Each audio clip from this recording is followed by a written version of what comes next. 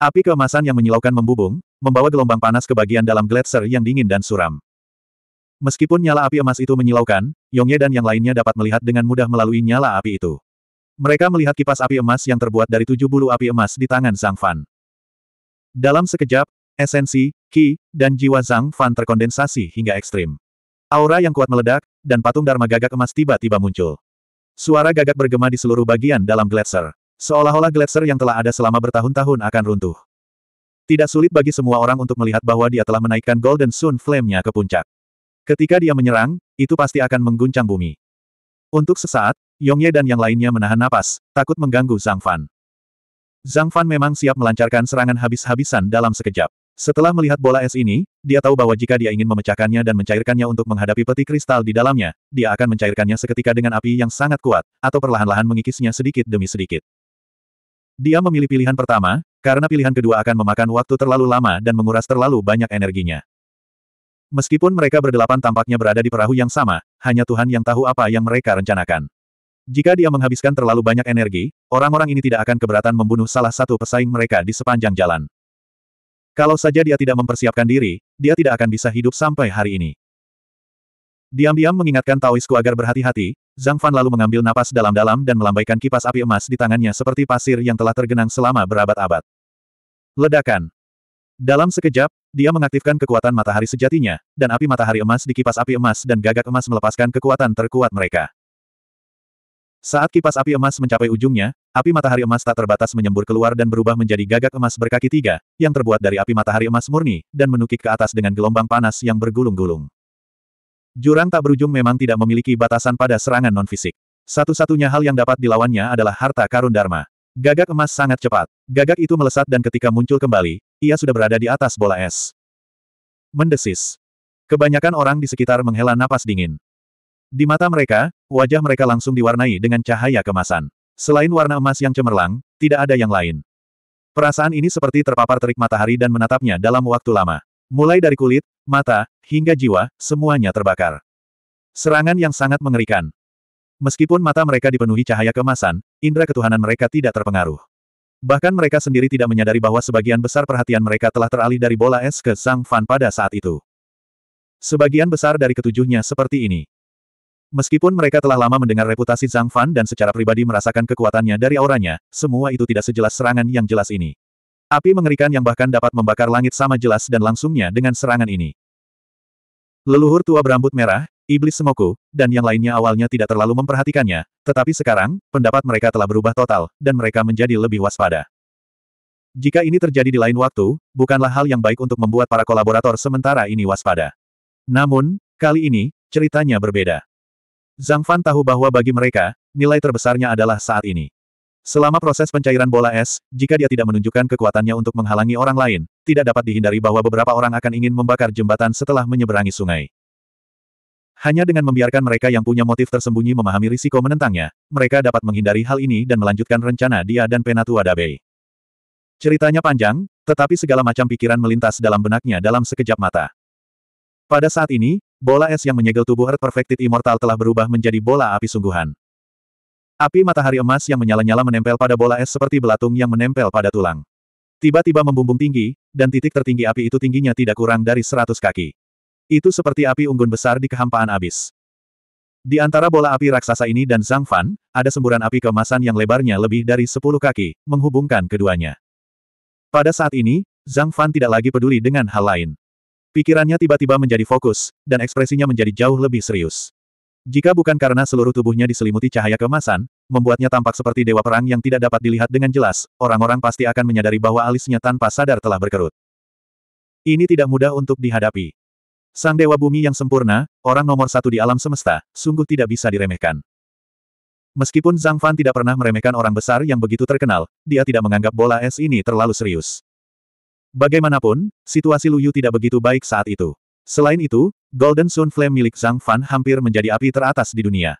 Dengan vitalitas yang tak terbatas, tampaknya ia memiliki keunggulan terhadap kekuatan yang ditinggalkan oleh Earth Perfected Immortal dari tahun-tahun yang tak terhitung jumlahnya. Namun, setelah serangan percobaan pertama, dia mengerutkan kening dan diam-diam mengaguminya. Lapisan es tebal di permukaan bola es itu bukanlah es mistik biasa, dan tingkat kekuatan yang tersembunyi di dalamnya sulit dipahaminya. Perbedaan antara keduanya seperti perbedaan antara api unggun biasa dan api samadhi sejati. Jika dia memiliki kekuatan yang ditinggalkan oleh Lu Yu, dia tentu akan mampu menerobosnya dengan cara biasa. Namun sekarang, itu akan jauh lebih sulit. Meskipun dia mengerutkan kening sejenak, Zhang Fan tidak terlalu khawatir. Lagi pula, dengan sihir api miliknya, tidak banyak penguasa Dao di alam transformasi ilahi yang dapat melampauinya. Jika dia tidak dapat melakukannya, hanya ada beberapa orang di dunia yang dapat melakukannya. Mengikuti semburan api emas di antara dirinya dan bola api, Zhang Fan menarik napas dalam-dalam lagi.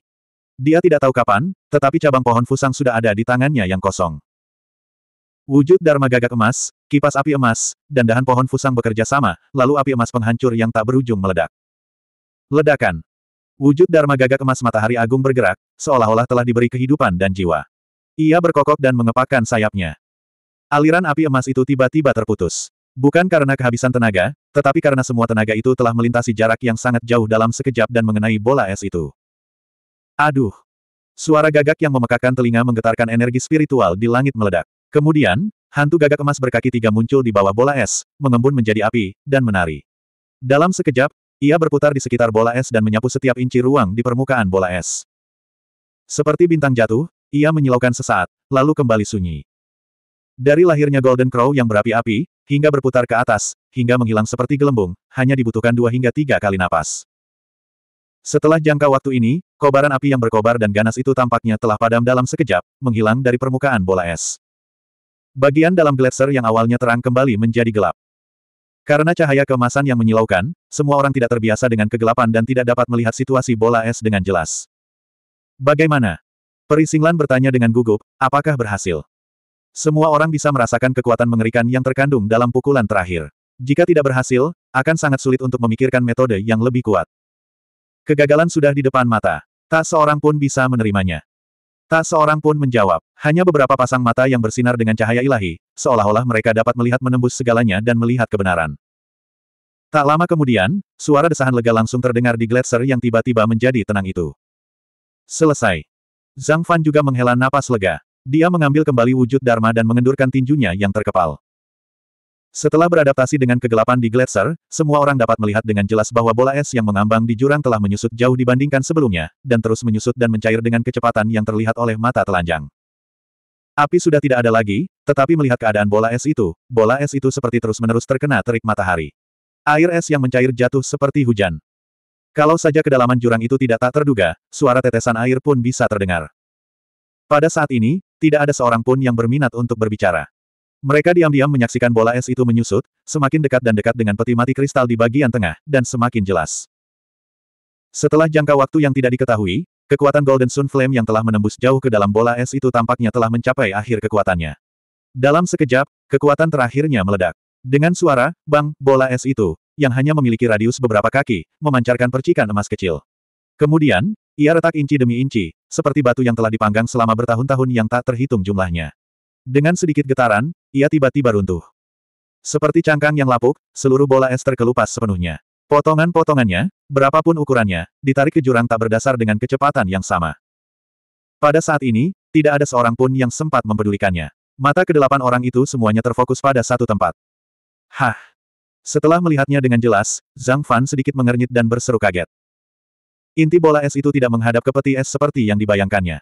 Sebaliknya, ada lapisan sesuatu yang melilitnya. Memikirkan kembali apa yang dilihatnya melalui lapisan es tebal sebelum bola es mencair, dia mengerti. Jelas, ini adalah lapisan perlindungan di luar peti mati kristal di dalam bola es. Pada awalnya, ia hanya berupa pita air berwarna hijau tua yang melilit peti mati kristal, bagaikan ular berbisa yang memiliki perasaan. Setelah semua lapisan es terkelupas, perubahan drastis terjadi. Ledakan. Pada suatu saat, pita air berwarna hijau tua itu penuh dengan spiritualitas, seperti ular hidup. Pada saat berikutnya, pita itu tampak hancur berkeping-keping oleh kekuatan besar dari dalam, tiba-tiba berubah menjadi kabut dan menghilang. Kabut hijau tua yang kabur itu berbentuk bulat seperti bola, membungkus peti mati kristal itu, tidak meninggalkan apa pun. Siapa bilang warna-warni itu menakutkan? Ketika Zhang Fan dan yang lainnya melihat kabut hijau tua murni ini, mereka merasakan hawa dingin menjalar di tulang belakang mereka. Indra spiritual mereka dipenuhi dengan tanda-tanda peringatan, memberitahu mereka betapa menakutkannya kabut hijau tua ini. Apa ini? Tepat ketika pertanyaan ini terlintas di benak setiap orang, sebuah suara terdengar di telinga setiap orang seperti sebuah jawaban. Coba saja dan Anda akan tahu. Itu tetua berambut merah. Tepat saat Zhang Fan mengenali orang yang berbicara, pihak lain sudah melancarkan aksinya. Jangan! Pada saat ini, suara panik dan melengking terdengar, menusuk gendang telinga semua orang. 982. Jangan! Suara panik dan tidak manusiawi terdengar di telinga semua orang, hampir menusuk gendang telinga mereka. Iblis Semoku. Zhang Fan menoleh, melihat iblis Semoku menatap ke depannya dengan wajah terkejut. Tanpa sadar, dia mundur. Sambil berpikir, ia menirukan lelaki tua berambut merah itu. Ia mengetuk tanah dengan ujung kakinya dan melayang melewati lelaki tua berambut merah itu.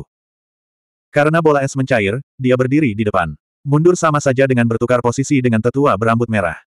Dia bukan satu-satunya. Semua orang pintar. Meskipun mereka tidak tahu mengapa iblis semoku bereaksi begitu besar, mereka semua mundur untuk mengamati.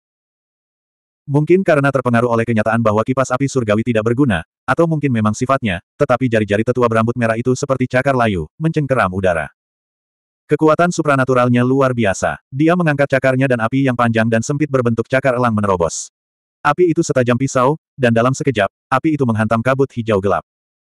Semua orang tahu apa yang baik untuk mereka. Melihat pemandangan ini, mereka tidak dapat menahan diri untuk berseru dalam hati.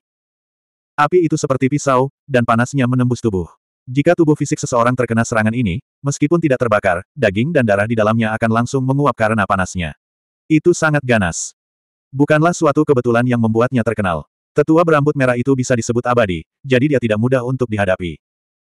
Kabut itu bahkan lebih besar dari bola es tadi. Begitu api cakar elang memasukinya, kabut itu menghilang dan langsung tertutup kabut hijau tua. Kemudian, terjadi keheningan sejenak seolah-olah tidak terjadi apa-apa. Hem. Pada saat itu, semua orang memasang ekspresi aneh di wajah mereka saat mereka menoleh ke belakang. Tentu saja, yang berdiri di belakang kerumunan adalah iblis Semoku, yang pertama kali berseru. Monster tua, kau terlalu penakut. Apa masalahnya?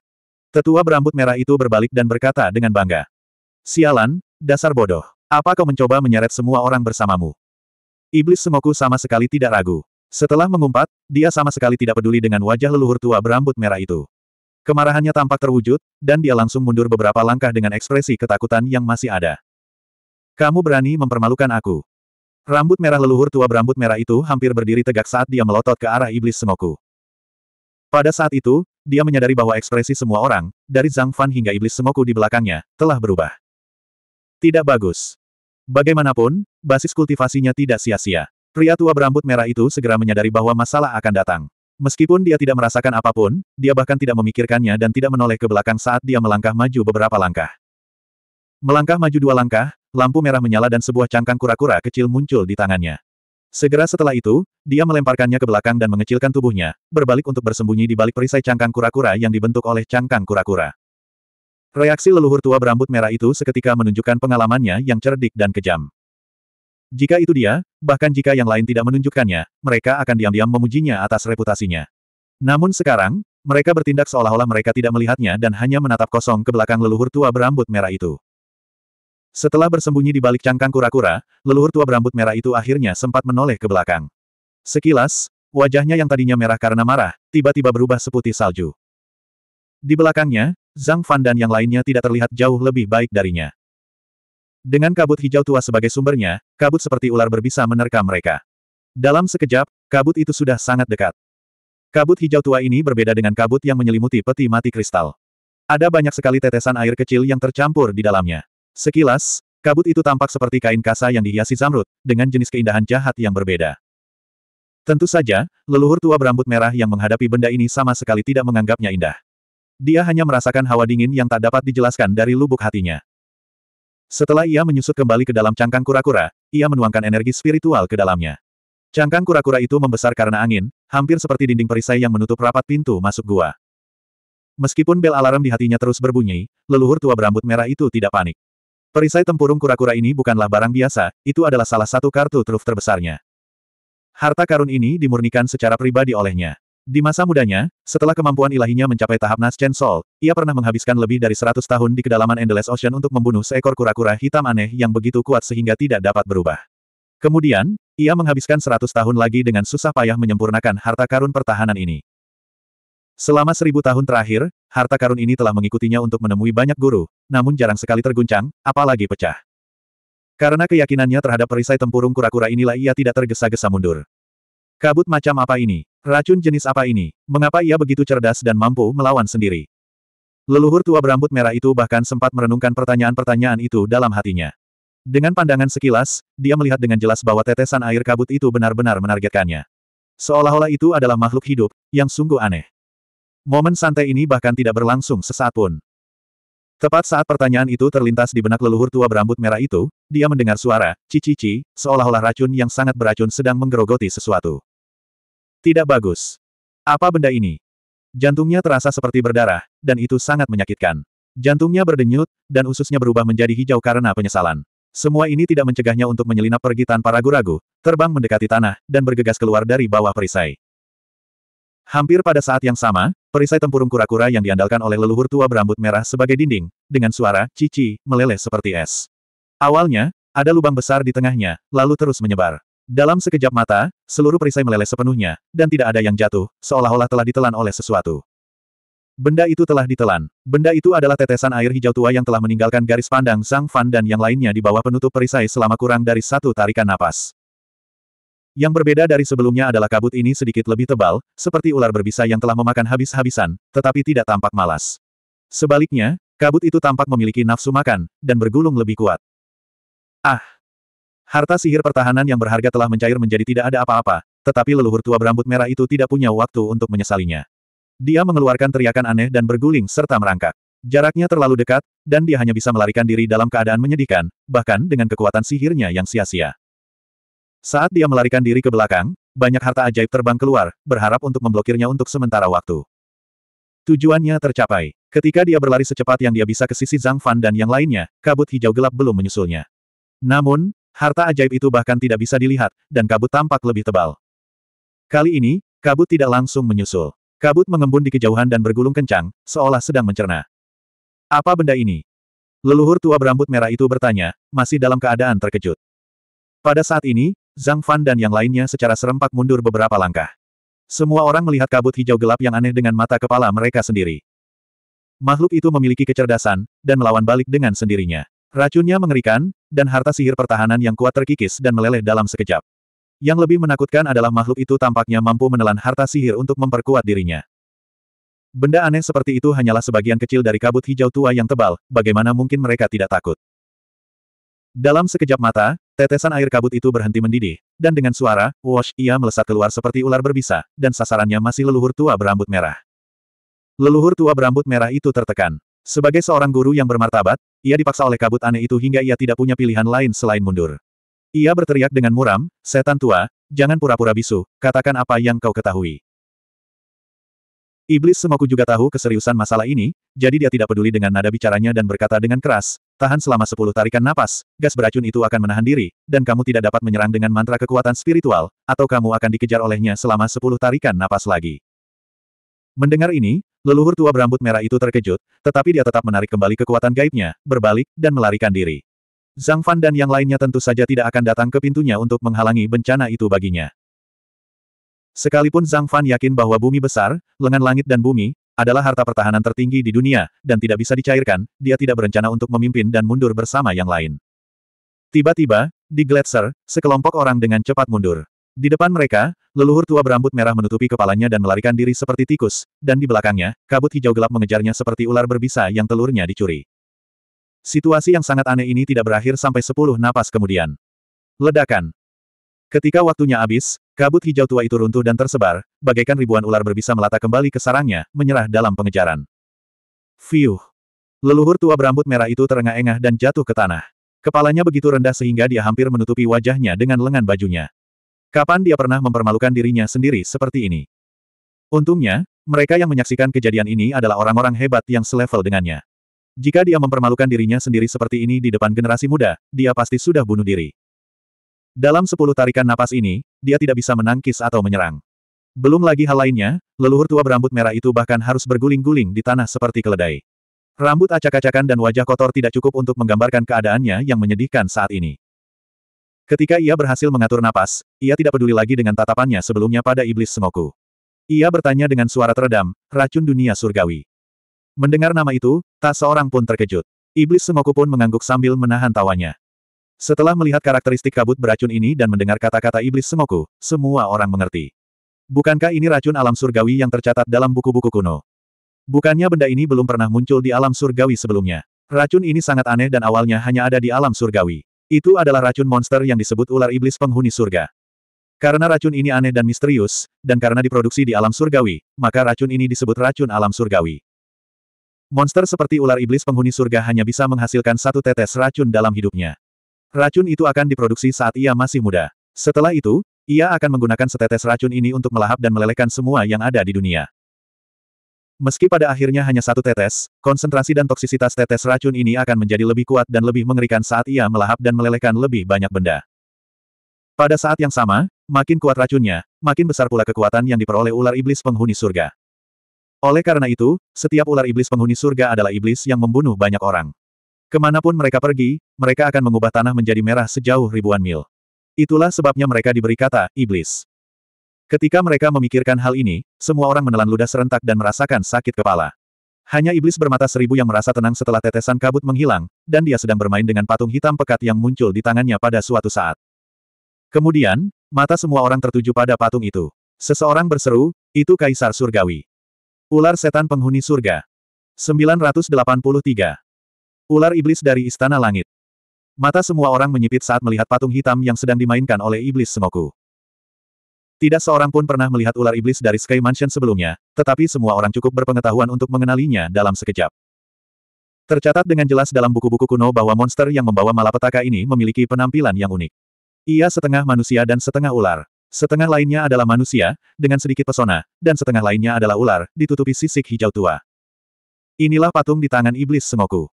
Ular iblis muda dari Istana Langit tidak berbeda dengan ular biasa. Selain bisa, tidak ada yang aneh darinya. Ular itu tampak seperti sejenis ular tak dikenal yang umum di dunia. Saat ia tumbuh dan mengonsumsi lebih banyak racun, tubuh bagian atas ular iblis Sky Mansion perlahan akan berubah menjadi manusia, sementara tubuh bagian bawahnya akan tetap menjadi ular. Perubahan ini akan terus berlanjut hingga ular iblis dari istana langit berubah menjadi manusia. Saat itu terjadi, ia akan memiliki kultivasi abadi. Ditambah dengan setetes racun, bahkan makhluk abadi sejati harus mengambil jalan memutar untuk menghindarinya. Patung di tangan iblis semoku lebih dari setengahnya manusia. Itu sudah menjadi ular iblis dewasa yang kuat dari istana langit. Inikah yang kau temukan di rawa racun? Setelah beberapa saat terkejut, leluhur berambut merah itu bertanya. Dia tidak peduli dengan omongan kotor kedua orang lainnya. Yongye dan yang lainnya, bahkan Yun Hua dan Ziyi, yang sedari tadi terdiam, menatap iblis semoku dengan penuh harap. Monster tua ini mengenali racun itu pada pandangan pertama, dan sekarang dia telah mengeluarkan patung ular iblis dari istana langit. Tak perlu dikatakan, ini adalah salah satu trik yang ditinggalkan oleh bumi abadi. Memikirkan betapa mengerikannya kabut hijau tua itu, semua orang memandang iblis bermata seribu dengan rasa iri, terutama leluhur tua berambut merah itu. Memikirkan dirinya sendiri, dia benar-benar ingin menangis karena kepahitan. Tidak buruk. Harta karun ini mungkin mengandung racun. Iblis semoku mengerutkan bibir tipisnya. Enam pasang mata di dahinya bersinar dingin. Dia tersenyum bangga, tetapi dia memancarkan aura dingin, seperti ular berbisa. Dengan sesuatu yang dapat menahannya, racun yang mengerikan itu tidak ada apa-apanya. Semua orang menghela napas lega. Kali ini, iblis semoku memimpin dan berjalan kembali. Mereka tidak bisa menahan senyum pahit. Tanpa disadari, mereka telah mundur sejauh 3 km saat dikejar oleh racun aneh dari dimensi abadi, dan mereka praktis melarikan diri saat melihatnya. Mereka benar-benar kehilangan muka. Lelaki tua berambut merah itu memandangi tanda-tanda di sepanjang jalan dengan ekspresi yang membuatnya tidak sanggup menoleh ke belakang. Setelah beberapa saat, mereka kembali ke jurang. Mungkin itu efek psikologis, tetapi mereka merasa bola kabut hijau tua itu semakin membesar. Di bawah tatapan semua orang, monster bermata seribu duduk bersila di depan kabut hijau tua. Di lututnya terdapat patung ular iblis hunian surgawi yang ditinggalkan oleh bumi abadi sejati. Saat iblis bermata seribu menyesuaikan kondisinya ke puncak, ki iblis yang kental meningkat, dan suara aneh tiba-tiba memasuki telinga semua orang. Desis, desisan, desisan, desisan, desis, desisan, desisan. Sesaat, seolah-olah ribuan ular menggeliat dan berbisik. Desis, yang sama itu panjang dan pendek, cepat dan lambat, tinggi dan rendah, tajam dan teredam. Semakin dia mendengarkan, semakin mengerikan suara itu. Dia merasakan bulu kuduknya berdiri tegak, dan itu sangat mengerikan. Apa ini? Zhang Fan mengerutkan kening dan menatap monster tua bermata seribu dengan bingung. Aura monster tua bermata seribu terus meningkat, seolah-olah dia telah menggunakan seluruh kekuatannya hanya dalam beberapa suku kata. Menurutnya, ini adalah sejenis bahasa ular. Seperti menggunakan bahasa ular untuk melantunkan mantra dan mengendalikan harta karun ajaib. Hanya saja suara ini terlalu aneh. Mendengarnya membuat orang merasa seperti akan membeku menjadi balok es. Mendesis. Setelah jangka waktu yang tidak diketahui, tepat ketika semua orang hampir kehilangan kesabaran, suara ular yang selalu berubah dan sangat rumit itu tiba-tiba berubah menjadi suara yang terdengar seperti perintah. Dalam sekejap, semangat semua orang terangkat. Mereka tahu bahwa setelah persiapan yang begitu lama, sudah waktunya untuk memperlihatkan belati itu. Benar saja, ketika bahasa ular terakhir diucapkan, Kabut dan bayangan yang tampak nyata sekaligus ilusi muncul dari patung ular iblis kelimpahan.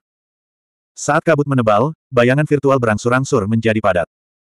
Pertama, terhubung dengan ekor patung, yang merupakan ekor ular tebal dan indah yang ditutupi sisik ular halus. Kemudian, seluruh bagian atas ditutupi sisik. Lalu, tiba-tiba, pusar kecil dan indah muncul di depan mata semua orang. Dari sana, warnanya putih bersih. Dibandingkan dengan itu, Yun Hua, Ziyi, Xinglan, dan wanita lain yang bisa dianggap menakjubkan di antara para kultivator manusia, sama saja seperti itu. Hanya dengan melihat bagian ini saja, tidak seorang pun akan mengira bahwa itu adalah binatang iblis. Lebih jauh ke atas, lengkungannya indah, seolah sedang mendaki puncak. Saat mencapai puncak, hampir semua orang mendesah serempak, penuh penyesalan. Bahkan para wanita pun tak terkecuali. Bagian tubuh wanita yang terindah ditutupi oleh dua sisik ular, bagaikan binatang iblis yang pemalu. Kedua sisik ular ini berbeda dengan ekornya yang berwarna hijau tua. Sebaliknya, sisiknya berwarna-warni dan berkilau, seperti dua permata yang indah. Sepanjang perjalanan, leher seputih salju, wajah yang elok, dan rambut indah yang bagaikan air terjun memasuki mata mereka satu persatu. Tatapan kagum semua orang berlanjut hingga mereka bertemu dengan matanya yang tak tertandingi acuh tak acuh yang tampaknya tanpa emosi manusia apa pun. Baru saat itulah mereka tiba-tiba terbangun seolah-olah mereka tiba-tiba tercerahkan. Ini bukan kecantikan yang dingin. Itu jelas ular iblis kelimpahan yang menakutkan. Setelah ular iblis kelimpahan terkondensasi dari patung, tatapan acuh tak acuhnya menyapu segala sesuatu di sekitarnya. Ketika tatapannya menyapu Zhang Fan dan yang lainnya, tatapannya seolah-olah sedang menatap udara. Tidak ada sedikit pun riak dalam tatapannya. Bahkan monster tua bermata seribu, yang memanggilnya dengan patung ular iblis di tangan, tidak terkecuali. Setelah memindai area itu, matanya terfokus pada kabut hijau tua. Mengabaikan tatapan tajam iblis Sengoku, ular iblis kelimpahan mengendalikan segel patung dan membuka mulutnya ke arah kabut hijau tua. Kemudian, riak-riak tak terlihat menyebar dari mulutnya dan menyebar ke seluruh cekungan Gletser. Ke mana pun riak tak kasat mata itu lewat, kabut hijau tua bergulung kencang, seakan mendidih. Melihat pemandangan ini, Patriark berambut merah merasakan hawa dingin di hatinya. Seolah mengingat sesuatu, dia tanpa sadar mundur dua langkah. Ketika dia melihat Zhang Fan dan yang lainnya tidak bergerak, dia tiba-tiba tersadar dan menghentikan langkahnya. Pada saat ini, kabut hijau tua yang besar di udara dengan cepat runtuh dan menyusut. Pertama, berubah menjadi pita air hijau tua yang mereka lihat di awal. Kemudian, mengembun menjadi setetes air hijau tua seukuran jari. Ini adalah racun aneh dari dunia abadi yang hanya bisa dipadatkan oleh ular iblis kelimpahan sekali seumur hidupnya. Tiba-tiba, tatapan penuh semangat semua orang terfokus pada tetesan racun, hampir menguapkannya. Pada saat ini, Benda itu tampak murni seperti setetes racun yang diukir dari batu giok hijau tua, dan tidak seorang pun dapat mengatakan betapa mengerikannya benda itu. Jika bukan karena fakta bahwa tidak ada seorang pun yang mengendalikannya, dan benda itu hanya secara naluriah membagi sedikit kekuatannya untuk melakukan serangan balik, benda itu akan mengubah lelaki tua berambut merah itu menjadi makanan, dan dia bahkan tidak akan memiliki kesempatan untuk melarikan diri. Seberapa mengerikankah bisa dengan mudah membunuh monster tua di tahap akhir Yuanying? Sekarang, semua orang dapat melihat bahwa patung ular iblis kelimpahan di tangan iblis semoku kemungkinan besar adalah senjata ajaib yang dibuat oleh Dewa Tanah Lu Yu menggunakan ular iblis kelimpahan yang asli. Hanya saja bentuk dan metode aktivasinya terlalu aneh. Saat berbagai macam pikiran melintas di benak setiap orang, ular iblis kelimpahan membuka mulut kecilnya dan langsung menelan setetes racun aneh dari dunia abadi. Kemudian, tanpa mengucapkan sepatah kata pun atau melihat ke arah kerumunan, tubuhnya runtuh dengan suara, bang, dan esensinya menyatu kembali ke dalam patung ular iblis. Pada saat ini, Tousan Ai Monster masih terus menekan teknik itu tanpa henti. Sayangnya, ular cantik ini sama sekali tidak mempedulikannya. Setelah menyelesaikan tugasnya, dia tidak menunjukkan reaksi sedikit pun tidak peduli seberapa keras dia berusaha mengendalikannya. Setelah beberapa saat, ketika iblis semoku akhirnya menyerah, dia mendongak dan mendapati semua orang menatapnya dengan senyum tipis di wajah mereka. Jika patung ular iblis tempat tinggal langit ini muncul di tangan iblis bermata seribu melalui cara lain, mereka pasti akan mengambil inisiatif untuk menyerang lebih dulu, atau mereka akan waspada. Apa pun yang terjadi, mereka tidak akan memasang ekspresi mengejek seperti itu di wajah mereka. Pada saat ini, setelah membandingkan yang sebelumnya dengan yang sebelumnya, semua orang paham bahwa harta karun semacam ini yang sengaja ditinggalkan demi membebaskan tubuh fisik seorang dewa bumi sejati adalah barang sekali pakai seperti kipas api surgawi, atau terlalu besar untuk dikendalikan oleh mereka. Dengan kata lain, patung ular iblis tidak akan menjadi ancaman bagi iblis Sengoku untuk saat ini. Tidak ada yang tahu apa yang akan terjadi di masa depan. Bagaimana mungkin iblis Sengoku tidak mengerti apa yang dimaksud semua orang? Dia mendengus dingin dan menyimpan patung ular iblis. Dia melangkah ke samping dan menatap peti mati kristal di udara. Reaksi semua orang sama. Bola es dan racun aneh dari dunia abadi telah berlalu. Sudah waktunya untuk melihat karakter utamanya. Pada saat ini, tidak ada lagi halangan di luar peti mati kristal. Kristal berwarna tinta itu sangat bening. Melalui peti mati kristal, penampakan makhluk abadi daratan dapat terlihat dengan mudah. Penampilannya seperti pria berusia empat puluhan. Rambutnya diwarnai embun beku dan salju. Wajahnya tampan, tetapi alisnya sedikit berkerut. Salah satu jarinya ditaruh di antara kedua alisnya. Seolah-olah dia sedang memikirkan sesuatu di saat-saat terakhir. Tidak seperti mayat biasa yang terbaring datar di dalam peti mati, True Immortal Earth selalu berdiri. Tidak ada dukungan di kehampaan, dan peti mati kristal itu masih berdiri. Di mata Zhang Fan dan yang lainnya, seolah-olah Lu Yu benar-benar berdiri di depan mereka. Bahkan ketika ia meninggal, ia tetaplah mayat, tetapi kesombongannya tidak berkurang sedikit pun. Jika tidak, dia tidak layak menyandang gelar tanah abadi. Saat bola es dan racun aneh dari dunia abadi menghilang, Zhang Fan dan yang lainnya melihat ke atas. Tiba-tiba muncul hembusan angin kencang dan mengelilingi jurang. Dengan peti mati kristal sebagai pusatnya, hembusan angin itu menyebar ke segala arah. Ketika angin menghilang tiba-tiba seperti saat muncul, ekspresi Zhang Fan dan yang lainnya berubah. Mereka merasa bahwa peti mati kristal dan jurang terlarang tampaknya telah mengalami beberapa perubahan yang tidak dapat dijelaskan. Mungkinkah Jantung Zhang Fan berdebar kencang. Ia menatap Yong Ye, yang tampaknya juga memikirkan hal yang sama. Tanpa menunggu Zhang Fan mengatakan apa pun, ia sudah bergerak. Wah! Sebuah batu spiritual menghantam peti kristal dan hancur. 984. Hah! Mata Zhang Fan, Yong Ye, dan yang lainnya berbinar. Di depan peti kristal, batu roh Yong Ye terlempar keluar, pecah berkeping-keping, dan berhamburan seperti kelopak bunga yang gugur. Tidak ada yang aneh tentang ini, tetapi masalahnya adalah Yong Ye telah melakukan hal yang sama sebelumnya, dan hasilnya jelas bagi semua orang. Sekarang batu roh ini, yang tidak berbeda dengan yang lainnya, telah berhasil mendarat di peti mati kristal, perasaan aneh dari sebelumnya pasti disebabkan oleh zona larangan terbang khusus yang telah menghilang setelah bola es dan racun aneh dari dunia surgawi menghilang. Jika batu roh dapat melakukannya, maka seharusnya tidak ada masalah dengan harta dharma dan tubuh manusia. Itulah yang mereka pikirkan, tetapi tidak seorang pun melangkah maju. Kelompok yang terdiri dari delapan orang itu saling memandang, tetapi tidak seorang pun berbicara, dan tidak seorang pun bergerak.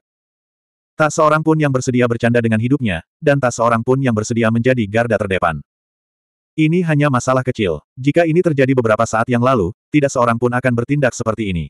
Namun sekarang peti mati kristal berwarna tinta itu ada di depan mereka dan kesuksesan sudah di depan mata, mentalitas semua orang sedikit berubah. Perhatian mereka beralih dari peti mati kristal itu ke rekan atau pesaing mereka. Dalam keheningan, Zhang Fan tiba-tiba melangkah maju dan tiba di tepi jurang. Untuk sesaat, mata semua orang tertuju padanya. Dia membentangkan lengan bajunya, lalu bayangan hitam terbang keluar dari mansetnya. Monster itu tampak aneh dan tidak diketahui asalnya. Begitu keluar dari lengan baju, monster itu langsung terbangun dan tidak bisa mengendalikan tubuhnya. Monster itu menjerit dan langsung menuju peti mati kristal. Tujuan Zhang Fan sudah jelas. Yang membuat semua orang sedikit heran adalah monster ini sangat lemah, dan hanya terlihat sedikit aneh. Bagaimana dia bisa membawanya, dan kebetulan saja berguna di sini. Mungkinkah dia sudah siap? Meskipun Zhang Fan telah memperoleh banyak informasi dari tetua Dabe, mustahil baginya untuk memberikan penjelasan sedetail itu. Mereka tentu saja tidak tahu bahwa dia telah melakukan pembunuhan besar-besaran di Star Region dan membantai banyak sekali binatang iblis di Star Region. Jika Elder Dabe tidak menyebutkan bahwa masih ada Star Spirit Lord yang belum ditangani, dia akan berpikir bahwa dia telah menghentikan binatang iblis di Star Region. Sebagian besar binatang iblis yang tak terhitung jumlahnya diubah menjadi makanan untuk pemurnian darah tombak perang pembunuh dewa. Namun, masih ada beberapa yang sengaja ditinggalkan Sang Fan karena dunia luar tidak dapat melihatnya. Dia menyimpannya di lengan Qian Kun miliknya. Bagaimanapun juga, ruang di dalam lengan Qian Kun itu tak terkira luasnya, maka dia tidak keberatan membersihkan satu ruang pun hanya untuk menampung binatang-binatang aneh ini. Adapun penggunaannya di sini, hanya dapat dikatakan sebagai suatu kecelakaan. Perhatian semua orang terpusat pada binatang iblis yang terbang menuju peti kristal seperti bola meriam. Wah! Tidak mengherankan, area aneh yang tidak bisa dilewati tubuh fisik itu sudah tidak ada lagi. Binatang iblis ini menabrak peti mati kristal dan otaknya pecah. Tidak mungkin dia sudah mati. Ia juga sial. Pertama, ia diseret ke arah Zhang Fan. Kemudian, ia tertidur lelap di dalam tas Qian Kun. Begitu ia bangun, ia bahkan tidak punya waktu untuk menjentikkan jari sebelum ia mati di tempat. Setelah kematian binatang iblis itu, ia meluncur turun dari peti kristal dan jatuh ke jurang. Tidak banyak yang bisa dikatakan. Namun, pada saat yang sama, darah dan kotoran sama sekali tidak menyentuh peti kristal. Seolah-olah bahan kristal itu melekat pada lapisan penyangga udara, dan meluncur turun ke jurang bersama-sama. Ayo pergi. Zhang Fan berkata dengan acuh tak acuh. Kemudian, tanpa menoleh ke belakang, dia melangkah maju dan melintasi kehampaan. Ketika dia muncul kembali, dia sudah berada di depan peti mati kristal. Enam lainnya tidak lebih lambat darinya. Mereka telah mencoba menggunakan batu roh dan tubuh yang masih hidup. Meskipun mereka masih ragu, tidak ada alasan bagi mereka untuk ragu. Delapan orang itu membentuk lingkaran, masing-masing menempati posisi tertentu, mengelilingi peti kristal itu. Tak satu pun dari mereka mengalami kecelakaan. Mengamati tubuh fisik Dewa Bumi sempurna dari jarak dekat, kedelapan orang itu memiliki hasrat yang tak terselubung di mata mereka. Namun, ketika mereka mendekati peti mati kristal, ekspresi semua orang berubah. Hah, terbuat dari apakah ini? Suaranya tajam dan jelas. Itu adalah peri. Dia menggunakan sarung pedang pembunuh peri hukuman dewa untuk menyentuh peti mati kristal. Wajahnya penuh dengan keterkejutan. Tak perlu dikatakan lagi, dia menggunakan harta karun yang diwariskan di sekolah Sen Xiao untuk mengujinya. Hasilnya di luar dugaannya. Yang lainnya sama saja. Zhang Fan tidak mengujinya, tetapi dari permukaannya, dia dapat mengetahui bahwa ada sesuatu yang salah dengan lapisan peti mati kristal tersebut. Dari luar, benda itu tampak seperti tubuh utuh tanpa celah. Jika bukan karena Dewa Bumi sempurna yang berdiri di dalamnya, siapa pun yang melihatnya akan mengira bahwa benda itu adalah kristal tinta yang terbentuk secara alami dan sama sekali tidak diukir. Kemudian, ada indera ketuhanannya. Dengan kekuatan indera ketuhanannya, dia merasa seolah-olah telah menabrak tembok saat mencoba menyelidikinya. Tidak ada kesalahan sama sekali. Semua indera ketuhanannya terpantul kembali. Tidak ada perasaan indera ketuhanannya menembus peti mati kristal. Terakhir, ada aura. Melalui lapisan peti mati kristal, tidak ada seorang pun yang bisa merasakan aura apa pun. Itu benar-benar terisolasi dari dunia luar. Tanpa aura, mustahil untuk menentukan apakah orang di dalam peti kristal itu adalah orang nomor satu yang benar-benar tak terkalahkan di alam semesta atau hanya orang biasa dengan penampilan yang baik. Semua orang mengerutkan kening, berpikir keras, menguji, atau menilai. Dalam sekejap, ada berbagai macam ekspresi. Di antara mereka, Zhang Fan, Yong Ye, Reze, dan Zi semuanya memandang peri bersayap, Yun Hua, yang tidak mengatakan sepatah kata pun sejak awal. Zhang Fan tidak tahu apa yang mereka pikirkan. Dia hanya tahu bahwa menurut apa yang dikatakan Pak Tua Dabei, rintangan terakhir untuk melepaskan tubuh Dewa Bumi sempurna adalah peri bersayap.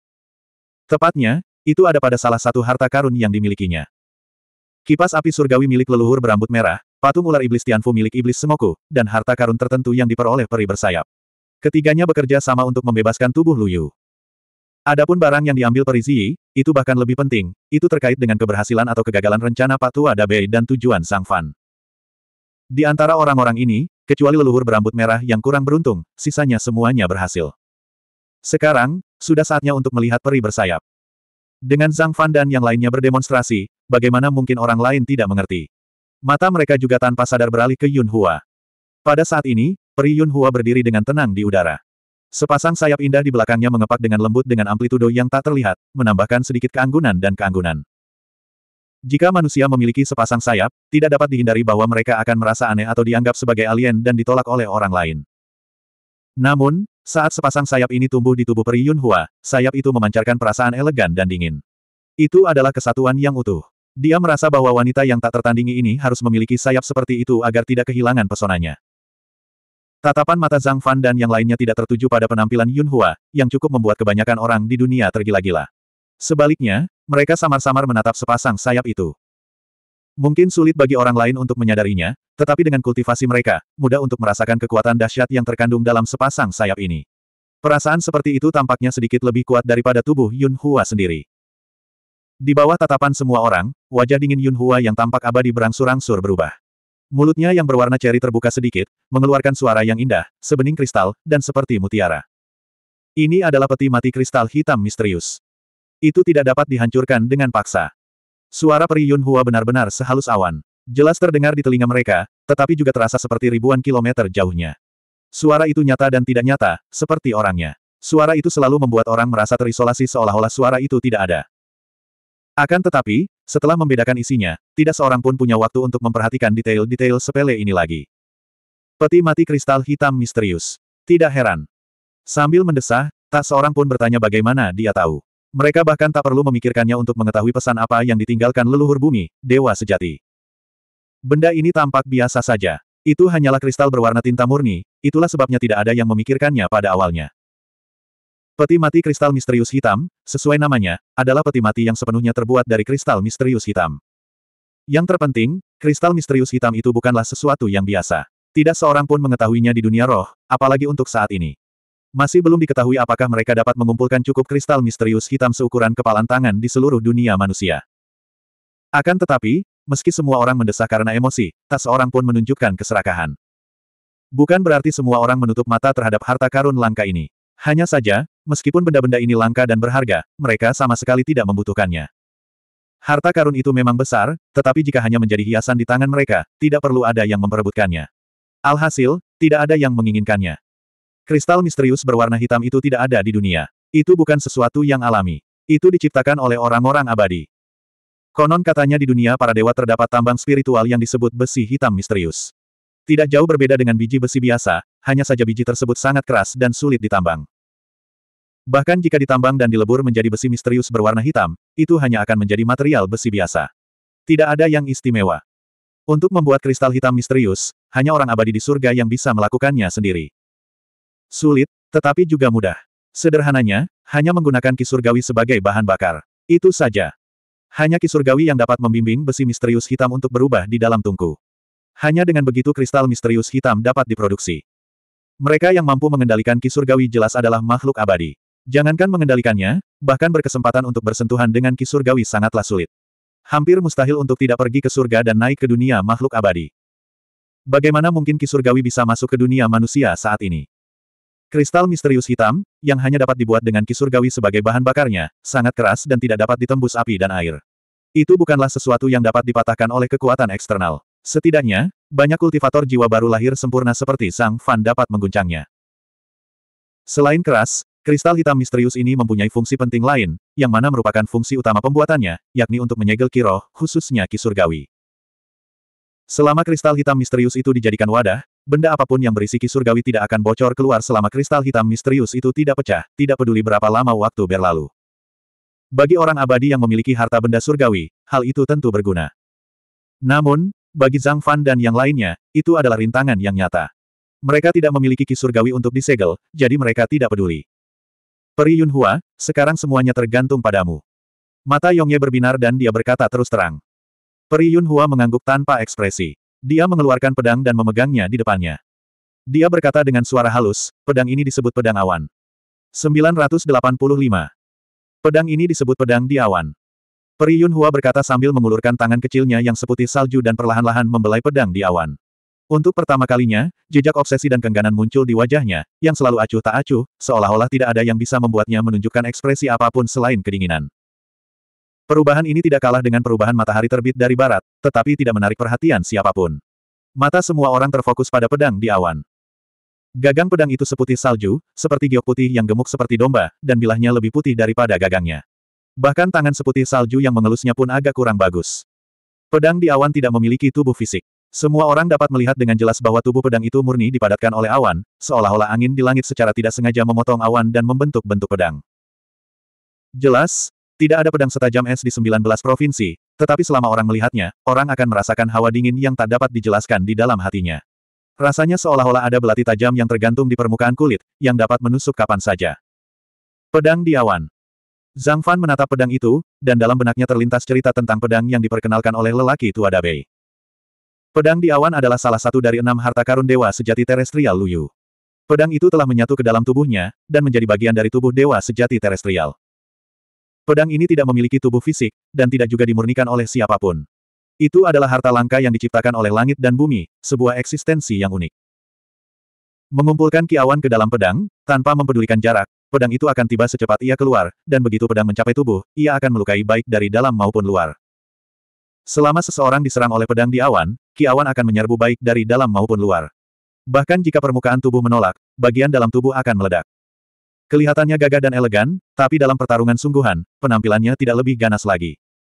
Mengetahui hal ini, tidak sulit untuk memahami suasana hati Peri Yun Hua saat ini.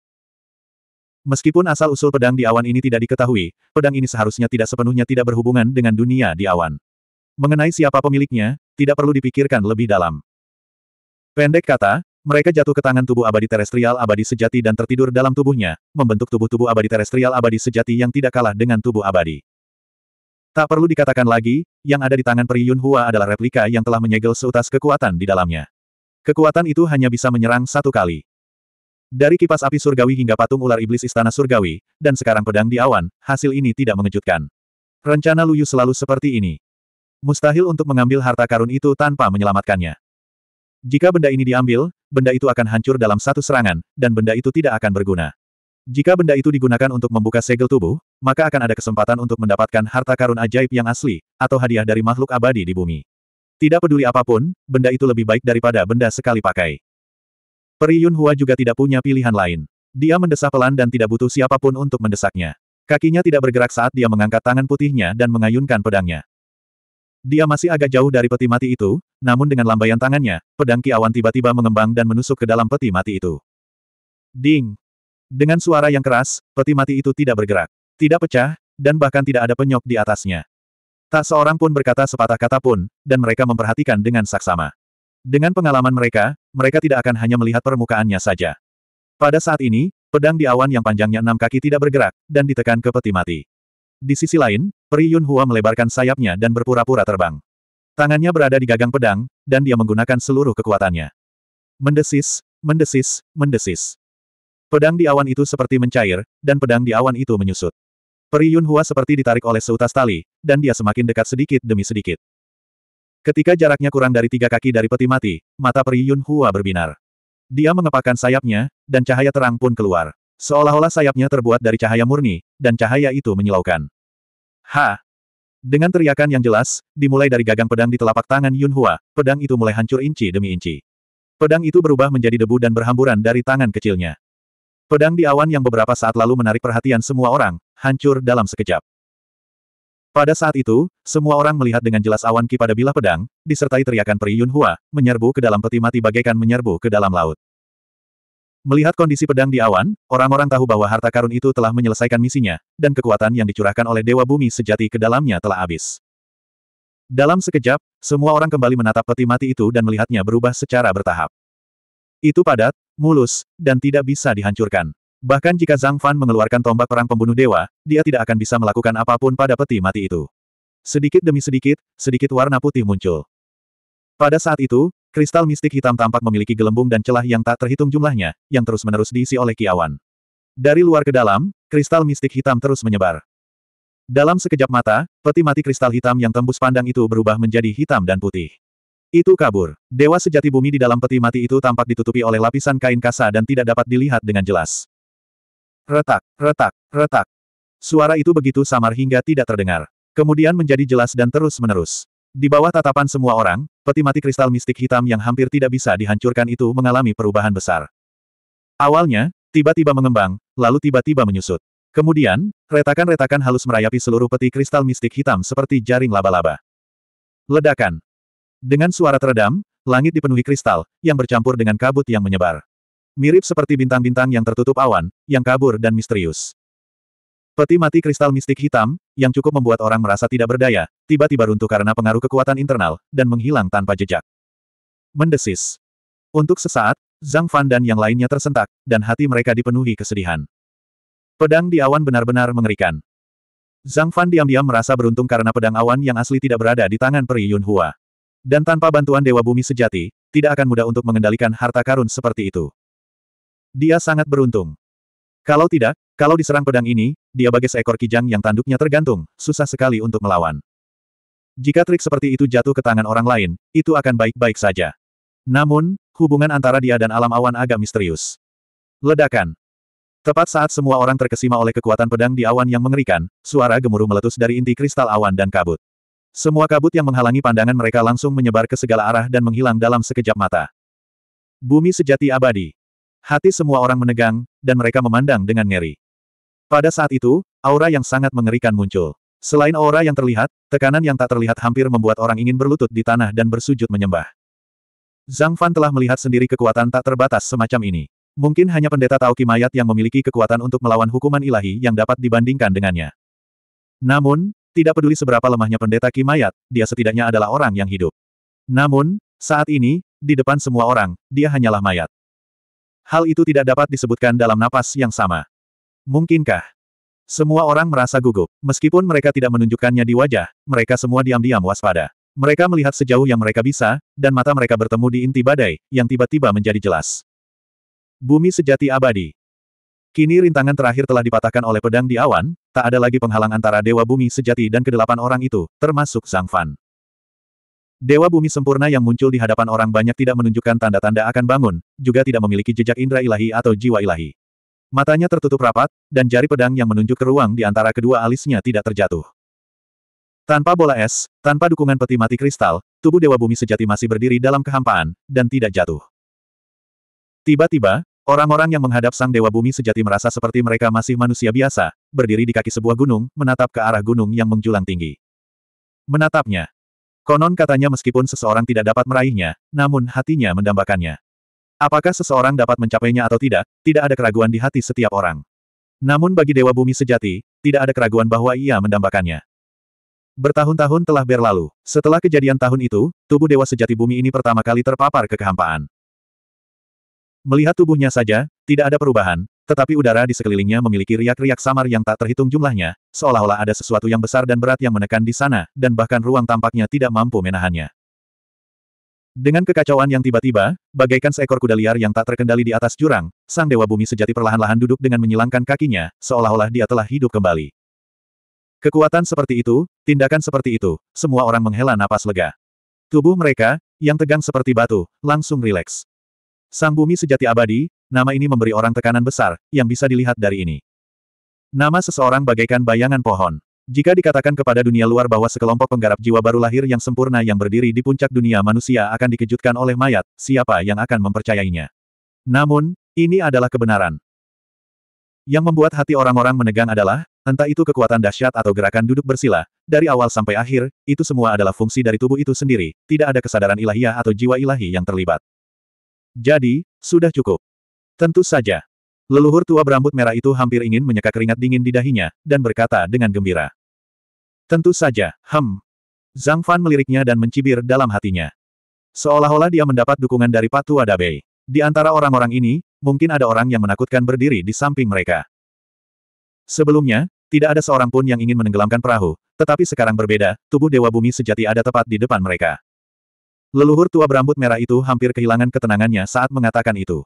Tekanan dari Dewa Bumi sejati benar-benar terlalu besar. Begitu dia selesai bicara, dia seolah sadar kalau dia sudah mengatakan sesuatu yang salah, lalu dia pun langsung menutup mulutnya, seperti orang-orang lainnya, dan tetap diam. Di langit di atas jurang, di hadapan Dewa Bumi sejati, terjadi keheningan sejenak, hanya badai ki spiritual yang masih membentuk angin kencang, bagaikan tangan kecil yang menggaruk hati orang-orang. Rekan-rekan kultivator saya, setelah sekian lama, seolah tak tahan lagi dengan suasana hening, Yongye memandang ke sekeliling orang-orang dan berkata, apa yang harus kita lakukan? Buatlah sebuah rencana. Mengapa kita butuh rencana? Mari kita lakukan apa yang telah kita sepakati. Suara iblis semoku agak suram, dan matanya yang suram melirik Zhang Fan, sengaja atau tidak sengaja. 986. Aturan, bukankah kita sepakat tentang itu? Zhang Fan mencibir dalam hatinya. Dia tahu bahwa orang-orang ini mungkin sudah punya beberapa ide sebelum mereka pergi mencarinya, tetapi mereka tidak mengungkapkannya sama sekali. Kamu harus dihukum karena niat jahatmu. Zhang Fan tiba-tiba menoleh ke belakang, ada sedikit rasa dingin di matanya. Dia tidak menyerah pada tatapan mata suram iblis semoku. Saat mata mereka saling beradu, seolah-olah percikan api akan beterbangan. Suasana ketegangan yang pekat menyebar dengan tenang. Setelah beberapa saat, iblis semoku sedikit memiringkan kepalanya, menghindari kontak mata, dan tidak lagi menatapnya. Dia mungkin tidak takut, tetapi dia pasti tidak akan menonjol dan bersaing dengan Zhang Fan, sehingga orang lain dapat mengambil manfaat darinya. Dia tidak begitu hebat untuk melakukan itu. Kekuatan Zhang Fan terungkap saat ia mencairkan bola es. Ia tidak mudah dihadapi. Kecuali jika diperlukan, tidak ada yang mau bertarung dengannya. Pada saat ini, orang bisa melihat manfaat dari ledakan kekuatan besar Zhang Fan yang tak tergoyahkan. Jika dia menahan diri saat itu dan mendidih di atas api kecil, Tousan Aidimen tidak akan bisa menghindari tatapannya dan akan langsung menyerangnya. Bahkan jika dia mengetahui besarnya kekuatannya segera setelah dia mulai bertarung, akan terlambat untuk mengatakan apa pun, dan itu hanya akan menjatuhkan yang lain. Setelah pertempuran besar, Zhang Fan mungkin bisa lolos tanpa cedera. Namun, tubuh Dewa Bumi sejati, dan hal-hal tersembunyi di dalamnya, rencana Penatua Dabei, tujuannya, semuanya berubah menjadi istana di atas pasir, dan paviliun di dalam air. Setelah memaksa mata Sengoku Demon untuk mundur, dia melihat sekeliling dan melihat orang-orang yang tersisa satu persatu. Matanya yang penuh tekad menunjukkan niatnya. Kemudian, Zhang Fan menemukan sesuatu yang menarik. Yong Ye, Xinglan, dan Reze mencibir, bingung, atau acuh tak acuh. Mereka benar-benar berbeda dari yang lain. Terutama Yong Ye, dia bahkan memasang ekspresi acuh tak acuh. Dia menyilangkan lengannya seolah-olah sedang menonton pertunjukan. Leluhur tua berambut merah, Pri Yun Hua, Iblis Sengoku, dan Ziyi tampaknya berasal dari kubu yang sama, tetapi mereka tidak berkomunikasi satu sama lain, seolah-olah mereka adalah orang asing. Yang menarik perhatian Zhang Fan adalah pada saat itu, mata indah Peri Yun Hua menampakkan sedikit niat membunuh untuk pertama kalinya, namun niat itu segera diredam. Peri Ziyi, di sisi lain, menatapnya dengan penuh minat. Dia memiliki ekspresi jujur di wajahnya, dan bahkan ada sedikit kebaikan di matanya. Kusut dan rumit, rasanya seperti terjatuh ke dalam labirin. Zhang Fan menarik napas dalam-dalam dan menekan semua pikiran kacau di benaknya. Menurutnya, apa pun yang terjadi, tujuannya tidak akan berubah. Jika ada rintangan, dia tidak akan takut untuk melawan. Itu sudah cukup. Adapun sisanya, seiring dengan perubahan situasi, mereka akan muncul satu persatu secara alami. Tidak perlu terlalu banyak berpikir. Apa pun yang telah kalian sepakati, aku hanya akan mengatakan satu hal. Mata Zhang Fan berbinar. Hitung aku. Dia tidak mengatakan omong kosong seperti persetujuan atau menepati janjinya. Dia langsung menunjukkan tekadnya yang teguh. Begitu dia mengatakan itu, pupil semua orang mengecil. Situasinya sangat tegang. Yong Ye, Xinglan, dan Reze berkumpul bersama. Leluhur tua berambut merah, Qianmu, dan yang lainnya sedikit lebih dekat. Hanya Zhang Fan yang sendirian. Dia menghadapi yang lain dengan mencibir, dan dia tidak takut. Setelah terdiam lama, iblis Sengoku mendengus. Hem. Zhang Fan, apakah kamu tahu dengan siapa kamu berbicara? Saya ingin mendengar rinciannya. Zhang Fan bahkan tidak mengangkat kelopak matanya. Sikapnya yang acuh tak acuh membuat iblis Sengoku itu bernapas dengan berat. Kamu tidak lemah, tapi jangan lupa bahwa kamu hanya satu orang. Apa yang harus kamu andalkan? Beraninya kamu berbicara tanpa malu-malu. Saat dia mengatakan itu, mata iblis semoku bergerak dan menyapu orang-orang di sekitarnya. Ancamannya jelas. Lalu apa? Ekspresi Zhang Fan tidak berubah. Dia hanya tiba-tiba mengangkat kepalanya. Cahaya suci di matanya tampak memiliki substansi, menusuk langsung ke mata iblis Sengoku. Dia berkata dengan dingin, berhenti bicara omong kosong. Aku akan mengatakannya di sini. Jika kamu tidak yakin, iblismu dapat bergerak. Kamu akan tahu apa yang harus kamu andalkan saat berada di dunia bawah. Anda. Monster bermata seribu itu jengkel. Sudah ratusan tahun sejak terakhir kali ada orang yang berani mengucapkan kata, monster, di depannya. Ini bukan masalah kecil. Jika hatinya tidak jernih, dia hampir tidak akan bisa menahan diri untuk tidak bergerak. Bagaimana denganmu? Zhang Fan mendengus dan berkata, jika aku ingin pergi, tidak ada yang bisa menghentikanku. Jika aku ingin bertarung, berapa banyak dari kalian yang akan mati bersamaku? Saat dia mengatakan ini, matanya tertuju pada iblis Sengoku. Seolah-olah dia mengatakan bahwa tidak peduli berapa banyak orang yang akan mati bersamanya, dia akan menjadi salah satu dari mereka. Hal ini membuat iblis tua itu menelan kata-kata yang akan dia katakan, dan wajahnya memerah. Tidak seperti dia, orang-orang lainnya sedang memikirkan apa yang dimaksud Zhang Fan ketika dia mengatakan bahwa tidak seorang pun akan dapat menghentikannya jika dia ingin pergi. Rencana mereka selanjutnya tidak diragukan lagi adalah mengandalkan dewa sejati bumi. Dengan seorang guru yang begitu kuat mengintai di sekitar, bagaimana mereka berani bertindak berani? Ini adalah kekuatan. Jika mereka tidak memiliki kekuatan yang cukup, setidaknya empat atau lima dari tujuh orang itu akan bergegas dan membunuh Zhang Fan secara langsung. Mengapa mereka harus memikirkannya dan mempertimbangkan untung ruginya? Lebih baik memotong simpul Gordian. Semuanya, tidakkah kalian pikir terlalu dini bagi kalian untuk bertengkar mengenai hal ini? Tepat saat pedang terhunus, suara lembut disertai bunyi guntur tiba-tiba terdengar di telinga semua orang. Zi, apa maksudnya? Semua orang, termasuk Zhang Fan, menoleh ke arah suara itu dengan heran, kemudian semuanya menampakkan ekspresi ngeri. Di tangan Priziyi, cahaya merah yang sangat kuat meledak. Bahkan jika dia mengepalkan tangannya dengan erat, dia tidak bisa menghentikannya. Jika kau ingin bertarung, bertarunglah nanti saja. Ziyi sudah tidak sanggup bertahan lebih lama lagi. Pada saat itu, Zhang Fan dapat melihat dengan jelas bahwa di dahi Ziyi, ada keringat yang sangat bening. Dalam sekejap, keringat itu seperti hujan. Begitu terkena, Keringat itu langsung menguap, seolah-olah kekuatan guntur di tubuhnya sedang gelisah. Dia memiliki tubuh petir. Bagaimana mungkin dia tidak bisa mengendalikan kekuatan petir? Kemudian semua orang tahu bahwa masalahnya ada pada lampu merah di tangannya. Semua orang, kekuatan dewa abadi yang sempurna tidak terbatas. Siapa yang bisa mendekatinya? Apa gunanya bertarung sekarang? Kata-kata Perizi menjadi semakin berat. Seolah-olah setiap kata yang diucapkannya melelahkan. Ketika menoleh ke belakang, Zhang Fan menyadari bahwa riak-riak samar di sekitar tubuh dewa sempurna itu tampaknya menyembunyikannya di ruang lain. Dengan kekuatan mereka, mereka bahkan tidak dapat mendekatinya, apalagi melakukan apa pun pada tubuhnya. Meskipun Tetua Dabe telah memperingatkan Perizi bahwa benda di tangannya sangat penting, bahkan dia tidak tahu situasi spesifiknya. Bagaimanapun, tempat yang dituju Perizi, kekuatan gunturnya terlalu mengerikan. Konon, tempat itu adalah tempat di mana Dewa Sempurna Lu Yu melewati kesengsaraan surgawi. Kesadarannya sama sekali tidak bisa mendekatinya. Jika dia tidak berhati-hati, dia akan berubah menjadi abu. Di bawah kekuatan guntur, tidak ada yang namanya keberuntungan. Hanya orang-orang seperti Perizi, yang memiliki pedang pembunuh peri hukuman dewa, bisa memasukinya dengan aman dan mendapatkan manfaat darinya. Perizi, benda apa itu yang ada di tanganmu? Jantung Zhang Fan berdebar kencang dan dia mengajukan pertanyaan yang ada dalam benak setiap orang. Kekuatan kesengsaraan surgawi. Perizi berkata. Kemudian, dia melepaskan tangannya dan cahaya merah bersinar di seluruh bagian dalam gletser. Di inti cahaya merah itu, terdapat petir ungu pekat, bagaikan jaring, yang menutupi cahaya merah menyilaukan di inti itu. Dari petir ungu itu, Zhang Fan samar-samar bisa merasakan aura pedang pembunuh peri hukuman dewa. Sebelum dia bisa memastikannya, perubahan tiba-tiba terjadi. Berderak. Serangkaian suara renyah terdengar. Seketika, petir ungu pekat itu meleleh seolah-olah telah bertemu musuh alami mereka. Segala sesuatu terjadi begitu cepat sehingga Zhang Fan dan yang lainnya masih tenggelam dalam keterkejutan yang dibawa oleh kekuatan kesengsaraan surgawi.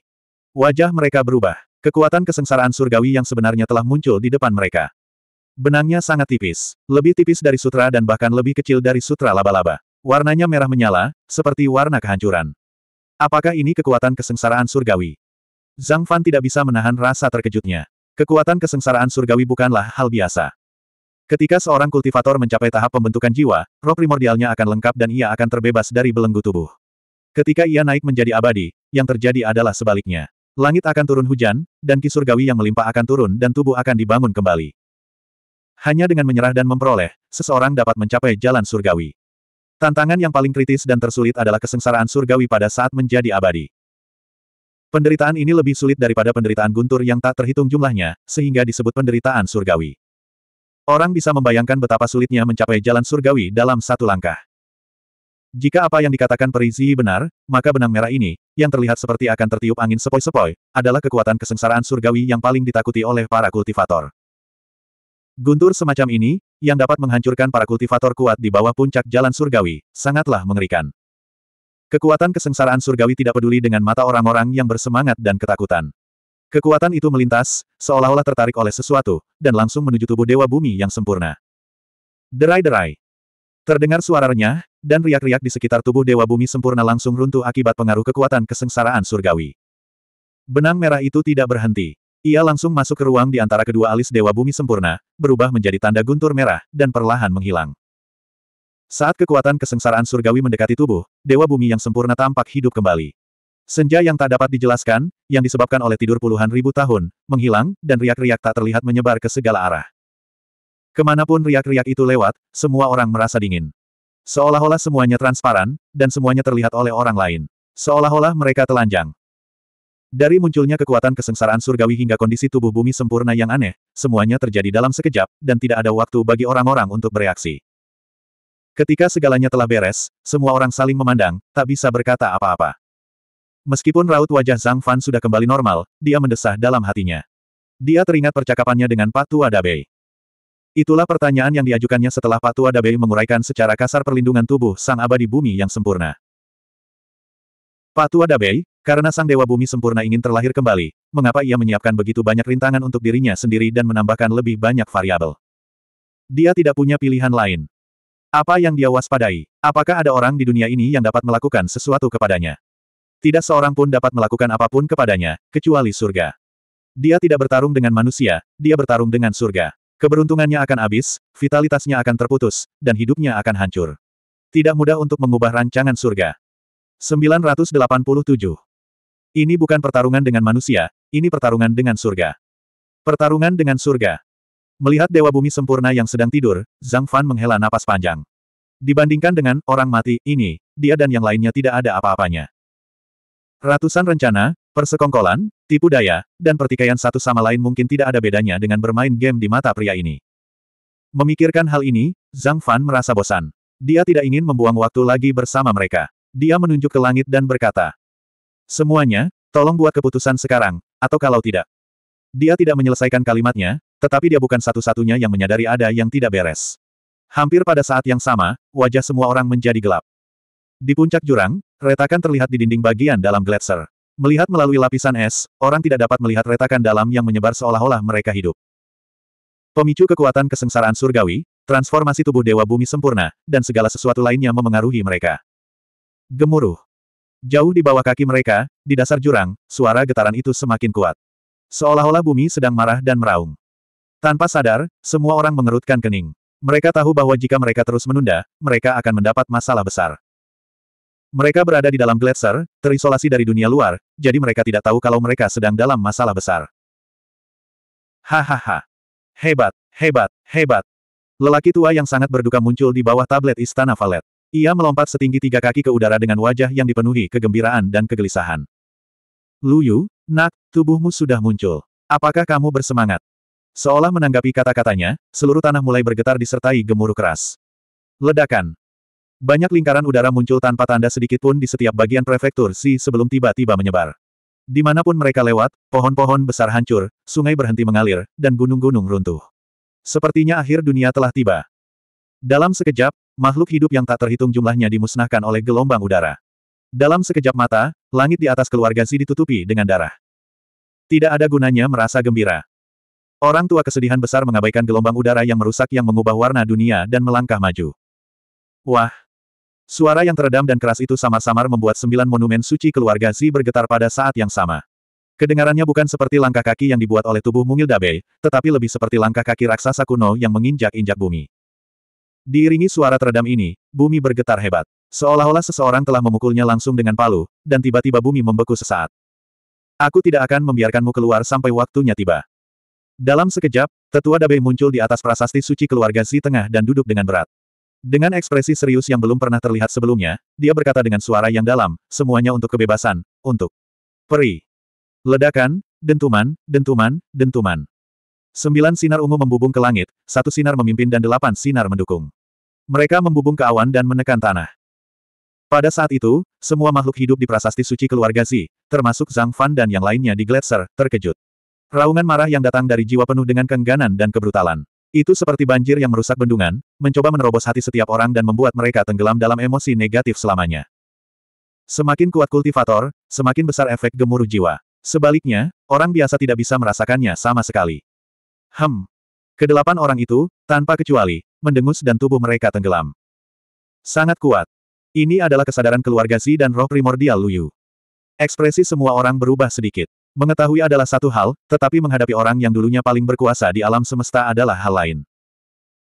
Kesenjangan kekuatan yang sangat besar, di bawah keterkejutan, mereka tidak menyadari bahwa kesadaran keluarga Zi dan roh primordial Lu Yu bisa begitu brutal, seperti iblis dan binatang buas. Itu sama sekali tidak terlihat seperti perilaku seorang dewa sempurna. Semuanya, jangan gugup. Meskipun aku tidak tahu mengapa, jelas ada yang salah dengan roh primordial Lu Yu. Semua orang seharusnya tahu ini, kan? Orang yang berbicara adalah pengguna pedang dari pedang hukuman dewa, Perizi. Poni di dahinya basah oleh keringat dan menempel erat di dahinya, tetapi dia sama sekali tidak tampak lelah. Dia tidak merasa kecewa karena dia telah memperoleh kekuatan kesengsaraan surgawi. Sebaliknya, dia tampak bersemangat tinggi. Bahkan jika roh primordial Luyu merasakan kelahiran tubuhnya, dia tidak akan bisa keluar dalam waktu enam jam. Kita masih punya waktu. Semua orang mengangguk. Mereka semua mendukung. Mereka adalah keturunan keluarga Zi atau pasukan dengan motif tersembunyi. Tentu saja, seseorang telah memberitahu mereka tentang hal ini. Jadi, sekarang bukan saatnya bagi kita untuk bertengkar satu sama lain. Jika kamu menginginkan sesuatu, lakukanlah sekarang, atau kalau tidak. Perkataan Perizi memiliki makna tersembunyi, tetapi semua orang mengerti apa yang dimaksudnya. Atau apalagi, itu tidak lebih dari sekadar kebangkitan Dewa Bumi yang sempurna. Jika memang begitu, itu akan seperti mimpi. Ekspresi Zhang Fan berubah. Apa yang dikatakan Perizi masuk akal, tetapi kata-katanya mengandung makna yang dalam bahwa dia ada di pihaknya. Jika dia ingin melakukannya sekarang, dia harus menyetujui persyaratannya. Itu tidak lebih dari itu. Berpikir tentang apa yang dimaksudnya, Zhang Fan menatapnya dan menatap matanya. Ada senyum tersembunyi di wajahnya. Tatapan mereka bertemu. Perhatian semua orang tertuju pada Dewa Bumi yang sempurna, jadi tidak ada yang menyadarinya. Baiklah. Kami berdelapan akan mengandalkan kemampuan kami sendiri. Apakah ada yang keberatan? Yongye berpikir sejenak dan berkata dengan tegas. Pendapat apa lagi yang bisa diajukan? Jika mereka terus menemui jalan buntu, semua usaha mereka akan sia-sia. Zhang Fan tidak keberatan, tetapi dia bertanya dengan suara yang dalam, teman-teman, kalian belum mengatakan apa yang ingin kalian lakukan. Sederhana saja. Baik tubuh maupun harta benda kita, kita tidak dapat menyentuh sehelai pun rambut Dewa Bumi yang sempurna. Peri berjubah ungu tersenyum manis dan menjelaskan, satu-satunya cara adalah masuk. Masuk. Ekspresi aneh melintas di wajah Zhang Fan. Dia tidak menyangka mereka akan memiliki ide seperti itu. Mereka benar-benar tidak punya cara untuk menyerang dari luar. Kalau tidak, Zhang Fan bisa saja menggunakan Heaven and Earth Sleeve dan melarikan diri. Apa yang bisa dilakukan orang lain padanya? Bukannya mereka tidak mau, tetapi mereka tidak bisa. Dewa Bumi Sempurna, Luyu, begitu kuat hingga tidak dapat dijelaskan dengan kata-kata. Ambil contoh tubuh fisiknya. Tubuhnya sangat kuat, sampai-sampai dapat mengganggu dunia nyata. Belum lagi melukai tubuh fisiknya, meskipun itu hanya tindakan, selain Great Thousand Words, tidak ada yang dapat menahan kekuatan mengerikan yang terkandung dalam tubuhnya. Jika Zhang Fan berani menggunakan Heaven and Earth Sleeve untuk menahannya, hanya akan ada satu hasil, Heaven and Earth Sleeve akan hancur, ruang Qian Kun akan runtuh, dan kekuatan sihir akan hancur. Tidak ada kemungkinan lain. Kesenjangannya terlalu besar. Hanya ada satu cara untuk mengumpulkan dan mengambil tubuh ini, yaitu dengan mengendalikannya sepenuhnya dan mengumpulkan semua kekuatannya. Hanya dengan begitu hal itu dapat dilakukan. Jadi, ide mereka tidak terlalu aneh. Jika mereka tidak dapat menghancurkannya dari luar, mereka hanya dapat menghancurkannya dari dalam. Masalahnya, bagaimana cara masuknya? Seni proyeksi yang hebat. Perizi menatap peri bersayap dan berkata sambil tersenyum. Proyeksi kesadaran, perjalanan dalam biji sesawi. Zhang Fan akhirnya bergerak. Pertama, dia tidak menyangka mereka akan menggunakan metode ini. Kedua, dia tidak menyangka bahwa peri bersayap, Yun Hua, yang tadinya rendah hati, adalah pemimpin sebenarnya dari perjalanan ini. Tatapan peri Ziyi bukanlah jawaban yang tidak bisa lebih jelas. Peri Yun Hua terdiam, tetapi dia mengulurkan tangannya ke dalam pelukannya. Ketika dia mengeluarkan sebuah piring kuningan kecil yang bertahtakan batu giok, piring itu dibentangkan di telapak tangannya. Seni proyeksi hebat adalah metode rahasia tertinggi, tidak semua orang bisa menggunakannya. Itu adalah metode yang hanya bisa digunakan oleh para master alam rahasia panjang umur. Itu adalah metode yang digunakan para master alam rahasia panjang umur untuk bepergian antara surga dan bumi. Itu bisa setinggi sembilan surga, serendah semangkuk air, itu bisa selebar sembilan surga, sekecil biji sesawi. Meskipun Zhang Fan dan yang lainnya sangat kuat di dunia fana, kultivasi mereka tidaklah cukup, jadi mereka secara alami tidak memiliki kekuatan untuk menggunakan seni proyeksi agung. Namun, dengan bantuan senjata ajaib, masalahnya berbeda. Yang ada di tangan peri bersayap, Yun Hua, jelas merupakan senjata ajaib. Saudari Yun Hua, terserah padamu. Mustahil bagi orang lain untuk meminjam harta karun seperti piring rahasia kenaikan abadi dari Mahaguru Chang Feng. Peri Zi berkata, tampaknya tidak disengaja. Yang mulia Chang Feng. Zhang Fan mengerutkan kening. Dia tidak menyangka bahwa monster tua ini akan terlibat pada akhirnya, dan bahkan berhubungan dengan alam awan. Untuk sesaat, dia merasa bahwa dunia ini tidak sebesar yang dia bayangkan. Huff. Yun Hua mendengus pelan, seolah-olah dia mengira Ziyi telah berbicara terlalu banyak, tetapi dia tidak mengatakan apa-apa lagi. Dia hanya melemparkan piring rahasia kenaikan abadi ke udara, dan kemudian sayap di belakangnya mengepak, mengirimkan awan ki. Pada saat ini, kekuatan yang meletus dari sepasang sayap itu membuat semua orang mengerutkan kening. Jelas, mereka bisa merasakan tekanan yang berasal darinya. Peri bersayap ini, Yun Hua, tidak menunjukkan sedikit pun kekuatannya dari awal hingga akhir, kecuali menggunakan pedang di awan untuk menarik kekuatan yang ditinggalkan oleh Dewa Bumi Sejati. Semua orang tidak tahu kekuatannya sama sekali. Musuh yang kuat. Cara semua orang memandangnya sedikit berbeda, penuh kewaspadaan. Meskipun kekuatan di balik leluhur tua berambut merah, iblis semoku, dan yang lainnya jelas memiliki semacam kesepakatan dengan alam awan tempat peri Yun Hua berada, kalau tidak, piring rahasia kenaikan abadi tidak akan berada di tangannya, tetapi ketika menyangkut manfaat, mereka jauh lebih waspada daripada yang lain.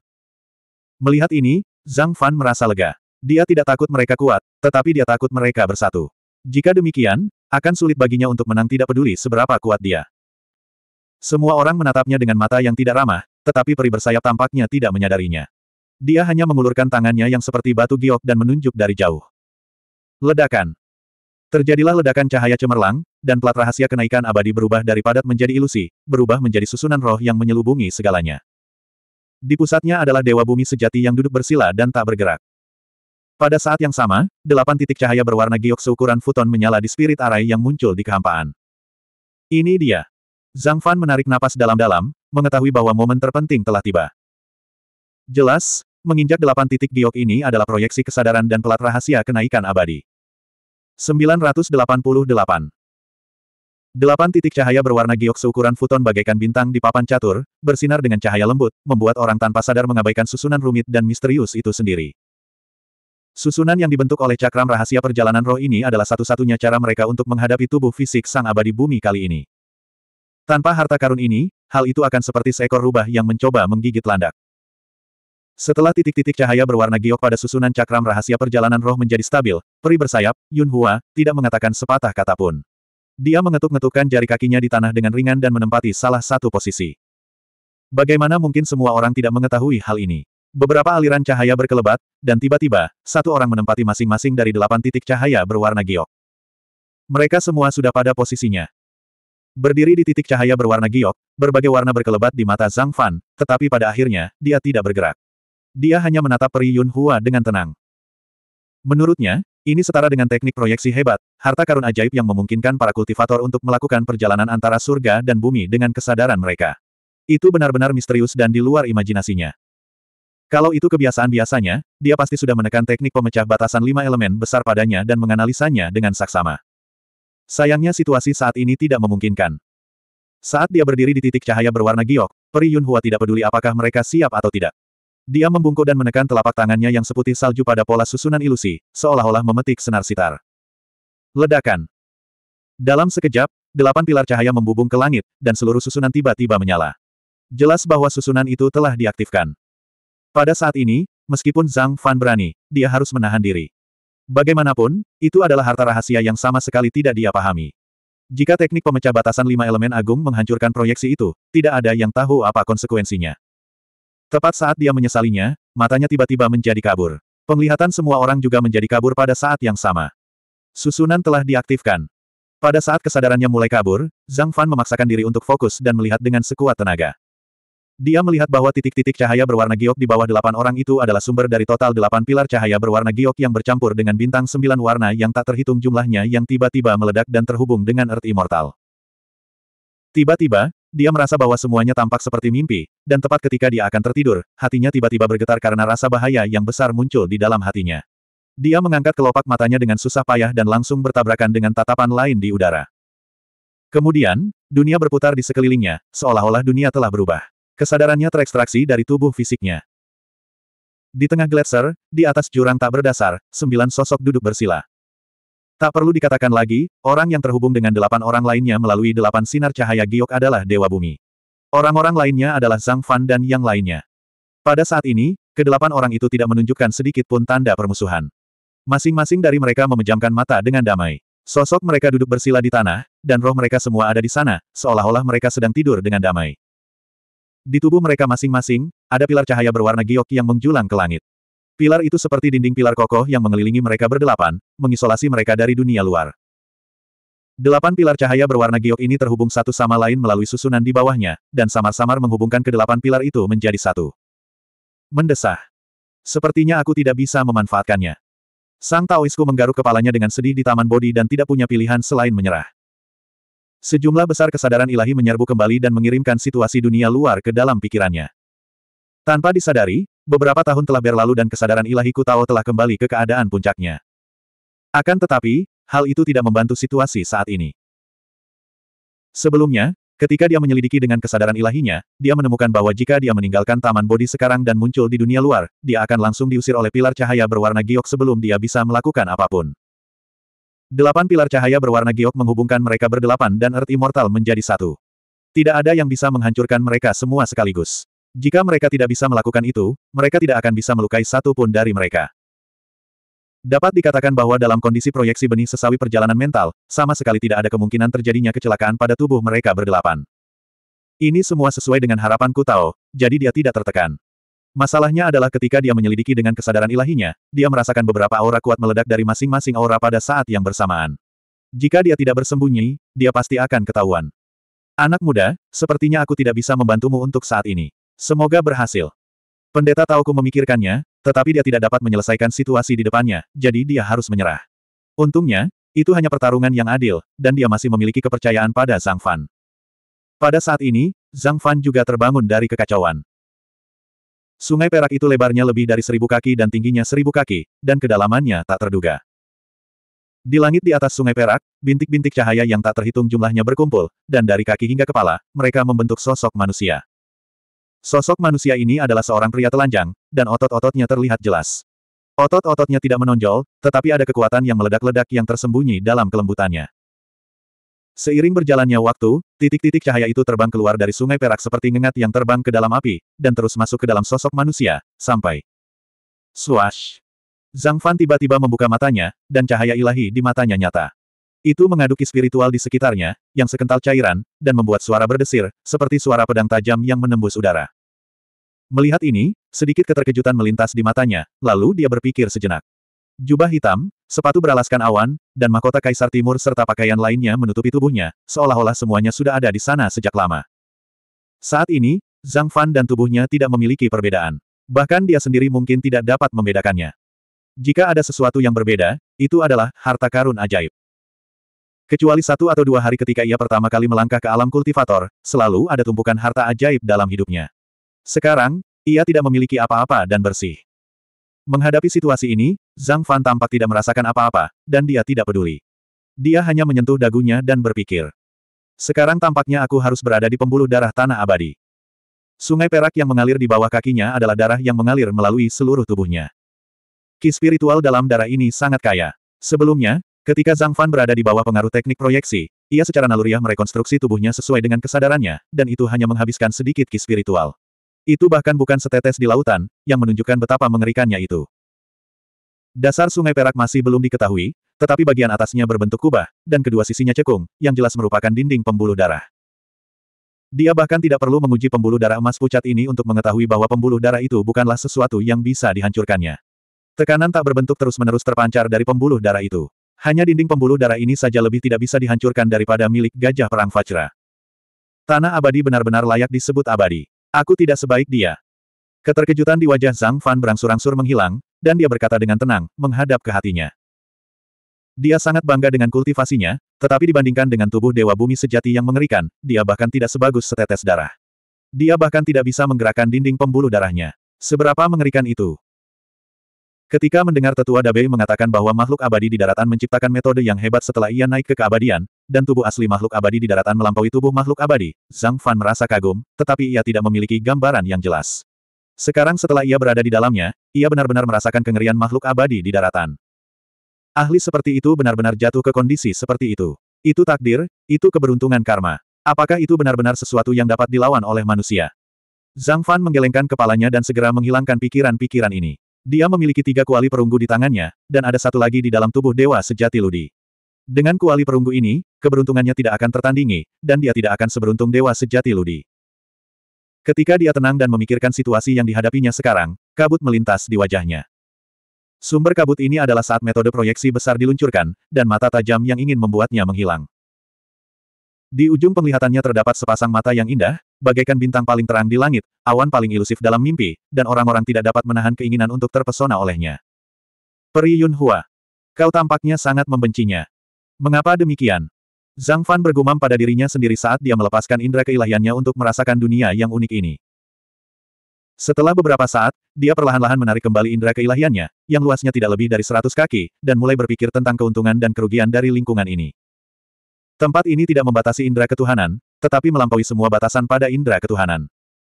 Memang benar bahwa satu orang dapat mengalahkan sepuluh orang dengan kekuatan besar. Di tempat yang mengerikan ini, seluruh dunia dipenuhi dengan ki spiritual yang hampir cair. Setiap inci indera ilahi yang bergerak maju seperti berjalan di tengah arus deras. Penekanan kekuatan yang absolut membuat semua keterampilan menjadi ilusi. Sedikit depresi ini dengan cepat hilang oleh kejutan yang luar biasa. Ledakan. Ketika Zhang Fan dengan santai menunjuk jarinya, itu seperti memindahkan ribuan kilogram dengan sedikit usaha. Ki spiritual yang tak berujung di sekelilingnya semakin kuat dan kuat. Ketika menghantam dinding pembuluh darah, itu sudah sepuluh kali lebih kuat dari kekuatannya sendiri. Ini. Matanya perlahan-lahan berbinar. Ini adalah tubuh Dewa Bumi sempurna, dan roh primordial orang ini telah masuk jauh ke dalam tanah dan menyatu dengan kesadaran keluarga Si. Dengan kata lain, ki spiritual di tubuhnya tidak dimiliki oleh siapa pun, dan tidak dapat dicetak atau dikendalikan. Dalam situasi ini, setiap serangan dapat dibungkus dengan ki spiritual yang kuat, dan itu seperti meminjam kekuatan Dewa Bumi yang sempurna. Mengetahui hal ini, depresi karena tidak mampu membawa khazanah ajaib ke tempat ini pun hilang sama sekali. Orang-orang mungkin menganggapnya sebagai ahli kerajinan, atau orang gila dengan harta karun ajaib yang kuat. Namun, Zhang Fan tahu bahwa titik terkuatnya adalah kekuatan ilahinya, dan yang paling ia pedulikan adalah kekuatan ilahinya. Dengan kekuatan suci kuali perunggu sebagai dasarnya, jalan menuju kekuatan sucinya ditakdirkan untuk melampaui harta karun ajaib. Di tempat ini, kekuatan ilahi dapat melepaskan kekuatan yang mengerikan. Ini saja sudah cukup untuk meningkatkan keunggulannya dalam kekuatan ilahi hingga seratus kali lipat, dan sepenuhnya menutupi keterbatasan harta magis. Setelah memikirkan hal ini, langit di atas sungai perak dipenuhi dengan suara gemuruh yang keras. Dia menggunakan semua jenis kekuatan ilahi di tempat ini untuk mempraktikkan semua jenis kekuatan ilahi.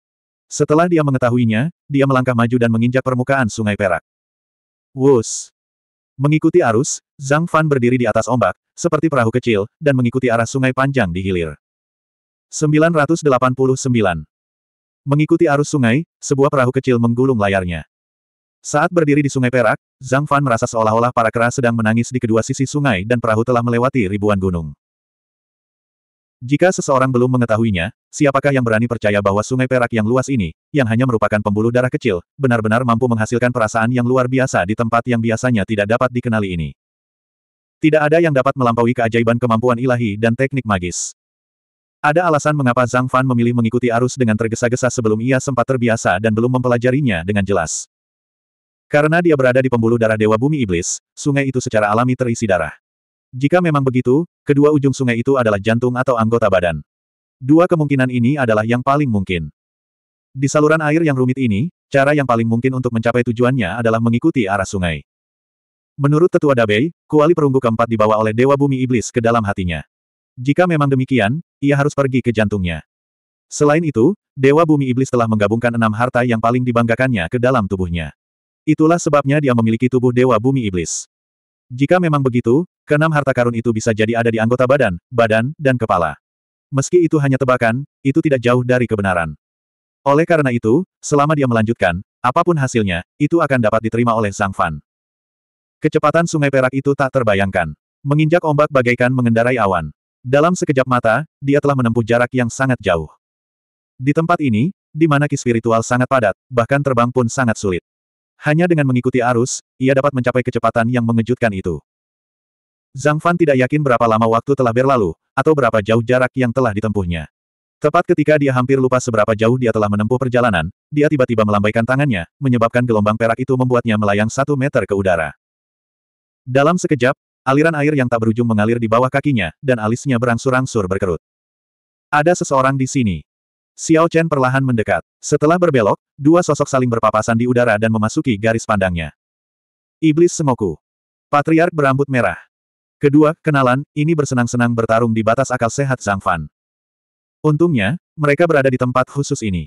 Kalau tidak, dengan kultivasi mereka, mustahil bagi Zhang Fan untuk bisa begitu dekat dengan mereka tanpa terdeteksi.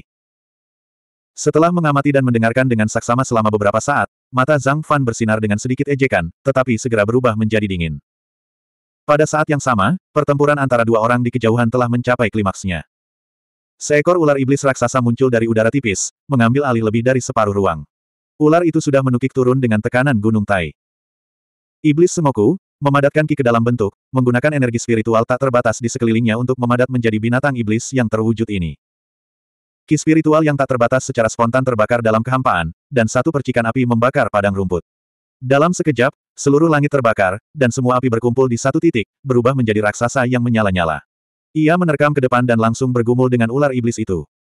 Ledakan, ledakan, ledakan, ledakan.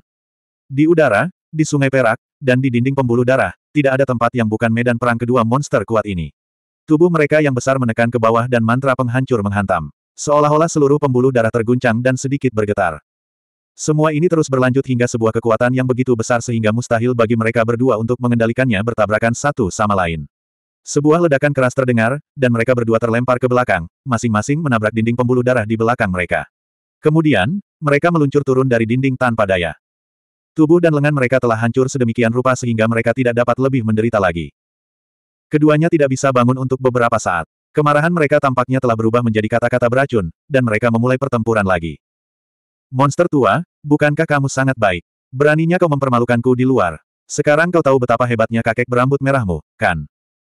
Patriark berambut merah menundukkan kepalanya, seperti ayam jantan yang kalah tetapi masih sombong, dan memarahi dengan marah. Bos api berambut merah, apa kelebihanmu dibandingkan aku? Saat aku pulih sebelum dirimu, aku akan merampok harta karunmu terlebih dahulu, lalu menelanmu hidup-hidup, lalu menarikmu keluar untuk menjadi satu denganku. Merasa terhormat. Iblis Sengoku bahkan tidak bisa berdiri, tetapi momentumnya tidak melemah sama sekali. Bahkan senyumnya yang menyeramkan dan dinginnya ular yang khas tidak berkurang sama sekali. Huf! Patriark berambut merah mendengus dengan nada menghina. Kau masih ingin merampok harta karunku. Saat aku pulih sebelum kau, aku tidak akan membunuhmu, tetapi aku akan memenjarakan jiwamu dan bermain dengan ular-ular kecil di kepalaku.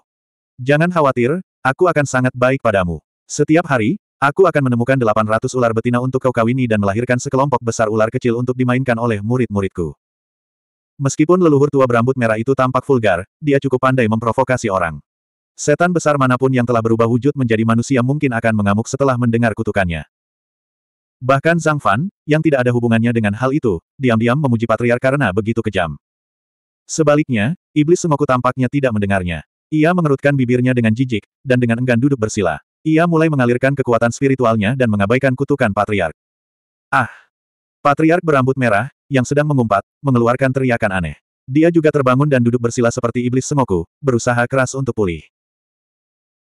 Situasi saat ini tampak seperti jika tidak ada orang luar yang terlibat, asal salah satu dari mereka pulih terlebih dahulu, mereka akan dapat menyiksa pihak lain yang tidak memiliki kemampuan untuk melawan, dan pada saat yang sama, mengambil harta karun di mulut mereka. Tempat itu sunyi untuk beberapa saat.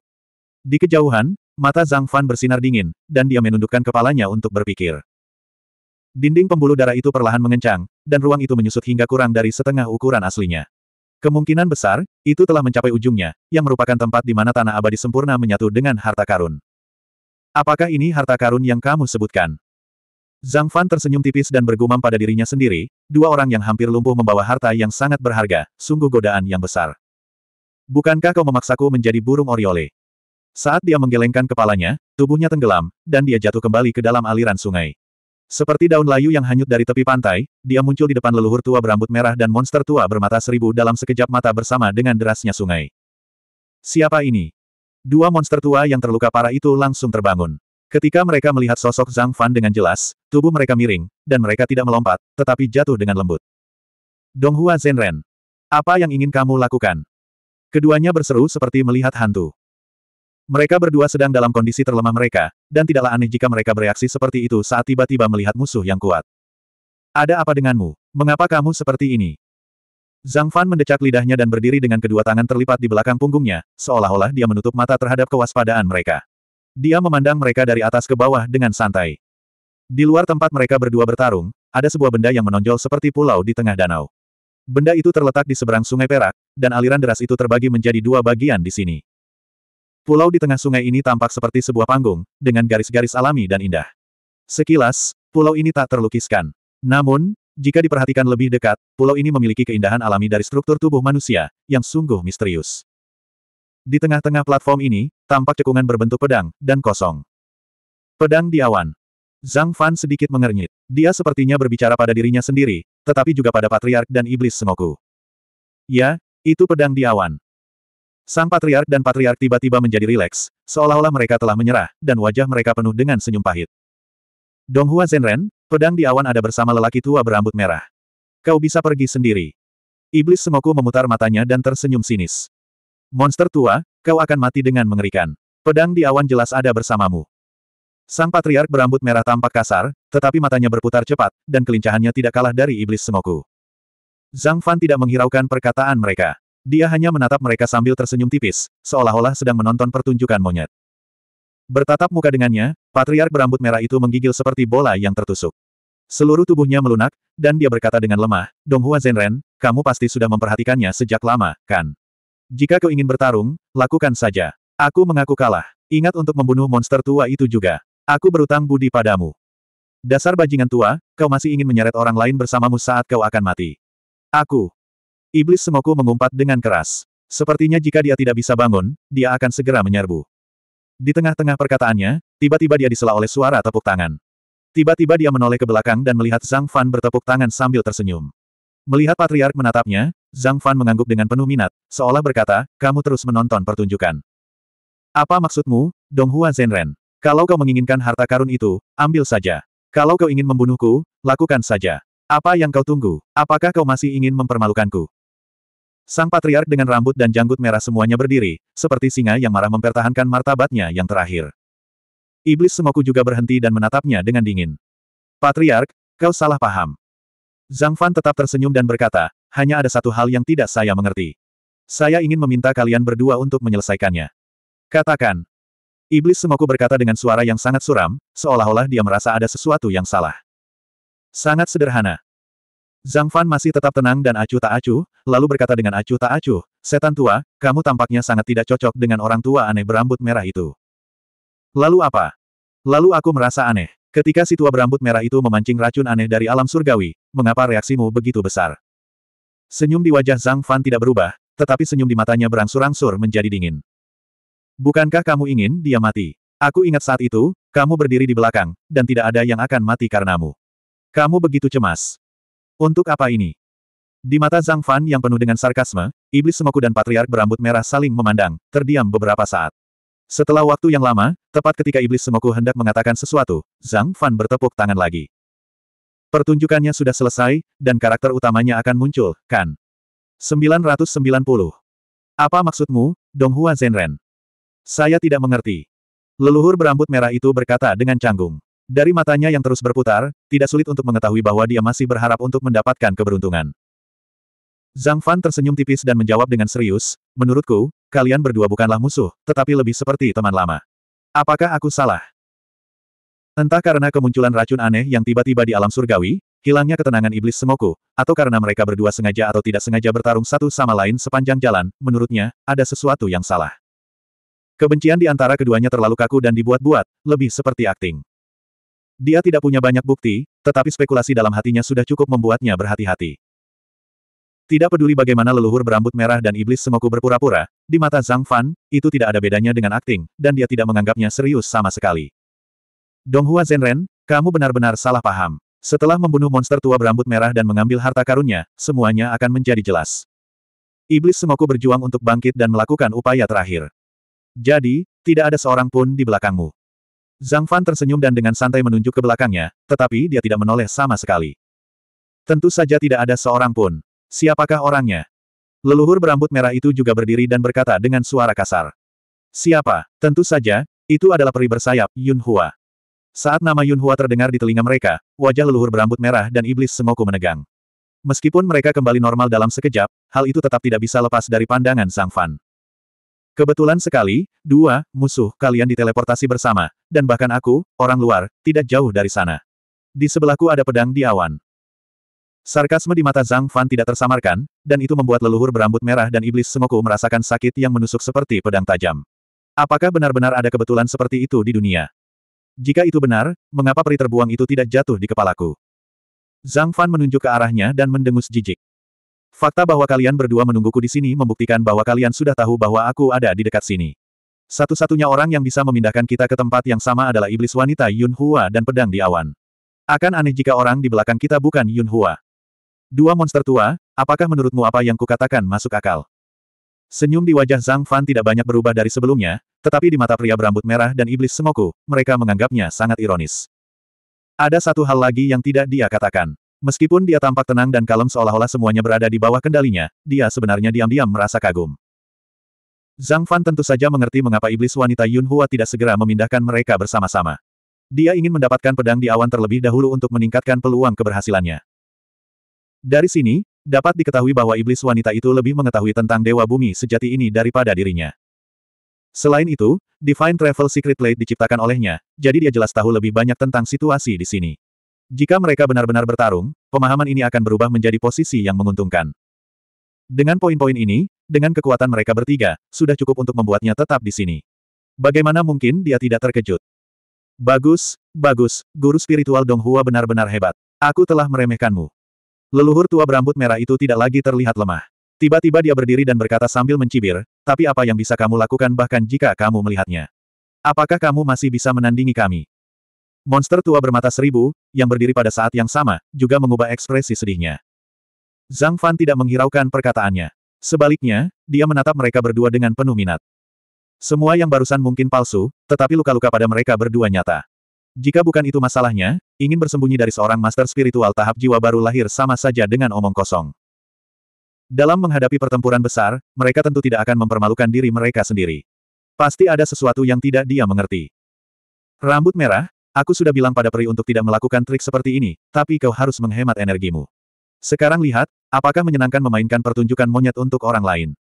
Iblis Semoku mengeluh sambil menatap Zhang Fan dengan mata dingin. Tubuhnya bergetar, dan dalam sekejap, sejumlah besar titik cahaya keluar dari sungai perak dan menyerbu. Siapa yang tahu kalau anak ini sangat licik dan licik? Biarkan saja dia. Pokoknya, dia akan segera mati. Leluhur tua berambut merah itu berteriak, dan seluruh tubuhnya melayang ke udara. Bintik-bintik cahaya perak yang tak terhitung jumlahnya melilitnya, dan ketika dia muncul kembali, dia sudah utuh. Dari awal hingga akhir, hanya butuh waktu kurang dari jentikan jari. Bisa dibayangkan jika Zhang Fan baru saja menyerang, dia akan disambut oleh mereka berdua yang langsung bangkit dan melakukan serangan gabungan. Serangan diam-diam Yun Hua dari belakang akan langsung merenggut nyawanya. Baiklah, baiklah, begitulah adanya. Terima kasih atas saranmu. Seolah tidak merasakan niat membunuh yang dingin dalam kata-kata mereka, Zhang Fan bertepuk tangan dan tertawa, wajahnya penuh kegembiraan. Dia tidak berpura-pura, tetapi dia sebenarnya sangat bahagia. Dari mereka berdua, Zhang Fan benar-benar melihat banyak hal. Bagaimanapun, ini adalah pertama kalinya dia menggunakan metode proyeksi untuk melakukan perjalanan spiritual, dan dia tidak memahami metode rahasia itu sendiri. Jika mereka benar-benar bertarung, tidak diragukan lagi dia akan berada dalam posisi yang kurang menguntungkan. Sekarang, tindakan mereka berdua tidak diragukan lagi telah menyalakan lentera untuknya. Proyeksi kesadaran, kendali jarak jauh roh. Di dunia ini, tubuh fisik tidak lagi penting. Tidak peduli seberapa serius cederanya, selama kesadaran tidak hancur, ia dapat menyerap energi spiritual yang tak terbatas dan pulih seketika. Kalau dia tidak tahu hal ini, jika tiba-tiba terjadi saling melukai atau mendapat serangan yang membahayakan nyawa, dia pasti akan mengalami kerugian yang sangat besar. Itu belum semuanya. Awalnya dia mengira bahwa meskipun proyeksi kesadaran itu terbunuh, kesadaran ini akan menghilang begitu saja, dan itu bukan masalah besar. Alasan mengapa dia begitu berhati-hati adalah karena dia ingin mendapatkan tripod perunggu itu. Sekarang tampaknya hal itu tidak terjadi sama sekali. Hanya dari rencana leluhur tua berambut merah dan yang lainnya, tidak sulit untuk mengetahui bahwa jika proyeksi kesadaran ini dihancurkan, itu pasti akan menyebabkan kerusakan serius pada roh tubuh di dunia luar. Kalau tidak, mereka tidak perlu melakukan ini sama sekali. Di tengah tawa Zhang Fan, wajah leluhur tua berambut merah dan iblis semoku menjadi gelap seperti dasar panci. Dengan pengalaman dan kebijaksanaan mereka, mereka secara alami memahami bahwa mereka telah mengungkapkan banyak informasi penting kepada pihak lain. Dengan cara ini, mereka bahkan tidak perlu memikirkan banyak taktik untuk memanfaatkan pihak lain. Apa yang disebut dengan pergi mencari wall dan pulang dengan rambut dicukur. Melihat mereka berdua, orang bisa mengerti. Tepat pada saat ini, di depan leluhur tua berambut merah dan iblis semoku, Zhang Fan mengangkat alisnya dan berkata sambil tersenyum tipis, kalian berdua, tahukah kalian mengapa aku bercerita begitu banyak? Dalam sekejap, ekspresi leluhur tua berambut merah dan iblis semoku berubah drastis. Mereka tampak lebih buruk daripada saat Zhang Fan memperlihatkan pertunjukan monyet mereka. Mereka berseru, oh tidak. Namun, sudah terlambat. Tiba-tiba, Zhang Fan menunjuk ke belakangnya tanpa peringatan apa pun. Itu sangat cepat dan tiba-tiba. Hampir pada saat yang sama ketika dia berbicara, leluhur tua berambut merah dan iblis semoku masih tercekik. Angin dari jarinya mengaduki spiritual di sekitarnya dan menyalakan api yang berkobar. Tanpa ragu-ragu, dia bergegas ke sudut yang tidak mencolok. Di sana, cahaya bersinar. Di bawah cahaya api yang menyilaukan, sosok manusia ramping dengan sepasang sayap terpantul. Ledakan. Seperti embusan angin yang tiba-tiba, kabut pagi menghilang. Sosok itu meledak saat api menyentuh tubuhnya, berubah menjadi awan dan kabut yang tersebar di seluruh langit. Api jari itu mengenai dinding pembuluh darah dengan sia-sia, dan seperti yang diduga, api itu pecah menjadi percikan-percikan. Sepuluh kaki jauhnya, awan dan kabut bertemu, dan sesosok tubuh mungil yang terbungkus dua sayap ramping yang indah muncul di depan ketiga orang itu. Sayapnya terbuka, dan peri Yun Hua memperlihatkan wujud aslinya dengan wajah dingin. Mula-mula dia menatap dingin ke arah leluhur tua berambut merah dan iblis semoku, lalu menatap tajam ke arah Zhang Fan. Peri bersayap, Yun Hua. Di telapak tangannya, ada pedang panjang dengan gagang giok putih dan bilah yang mengembun menjadi kabut. Itu adalah pedang Dewa Awan. Sungguh teknik tembus pandang yang menakjubkan dan teknik melarikan diri yang hebat. Sepertinya alam awan masih memiliki banyak hal menarik. Aku akan ke sana lain waktu. Zhang Fan bergerak dan melepaskan diri dari kepungan kedua belah pihak. Dengan punggungnya menempel di dinding pembuluh darah, dia berkata dengan santai dan puas. Namun dalam hatinya, dia tidak begitu santai. Sebelumnya, dia banyak bicara omong kosong dan bertarung dengan leluhur tua berambut merah dan iblis semoku alih-alih membunuh mereka seketika atau melarikan diri. Itu semua demi iblis Yun Hua. Menurut analisis Zhang Fan, iblis wanita ini pasti bersembunyi di suatu tempat, menunggu kesempatan yang tepat untuk memberinya pukulan mematikan di saat kritis. Yang lebih buruk adalah dia tidak dapat menemukan jejak keberadaannya. Di depannya ada dua orang ahli veteran dengan pengalaman tidak kurang dari seribu tahun. Tentu saja, mereka tidak akan membiarkannya mencari dengan sembarangan.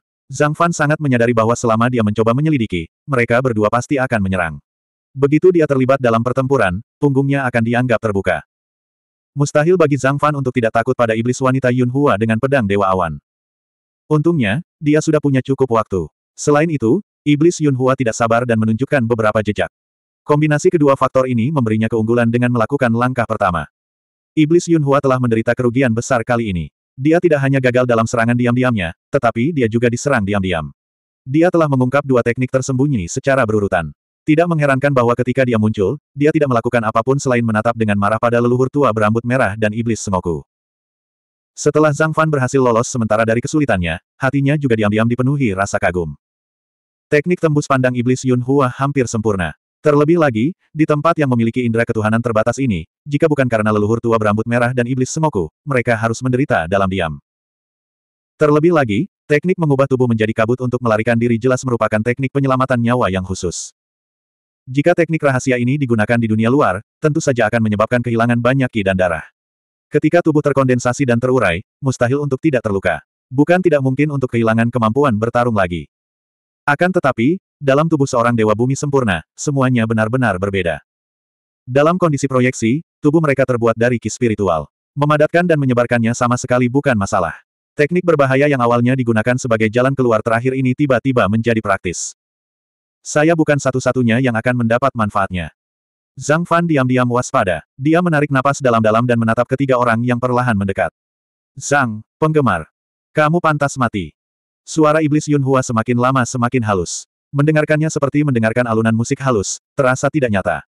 Pedang Dewa Awan menebas dari langit.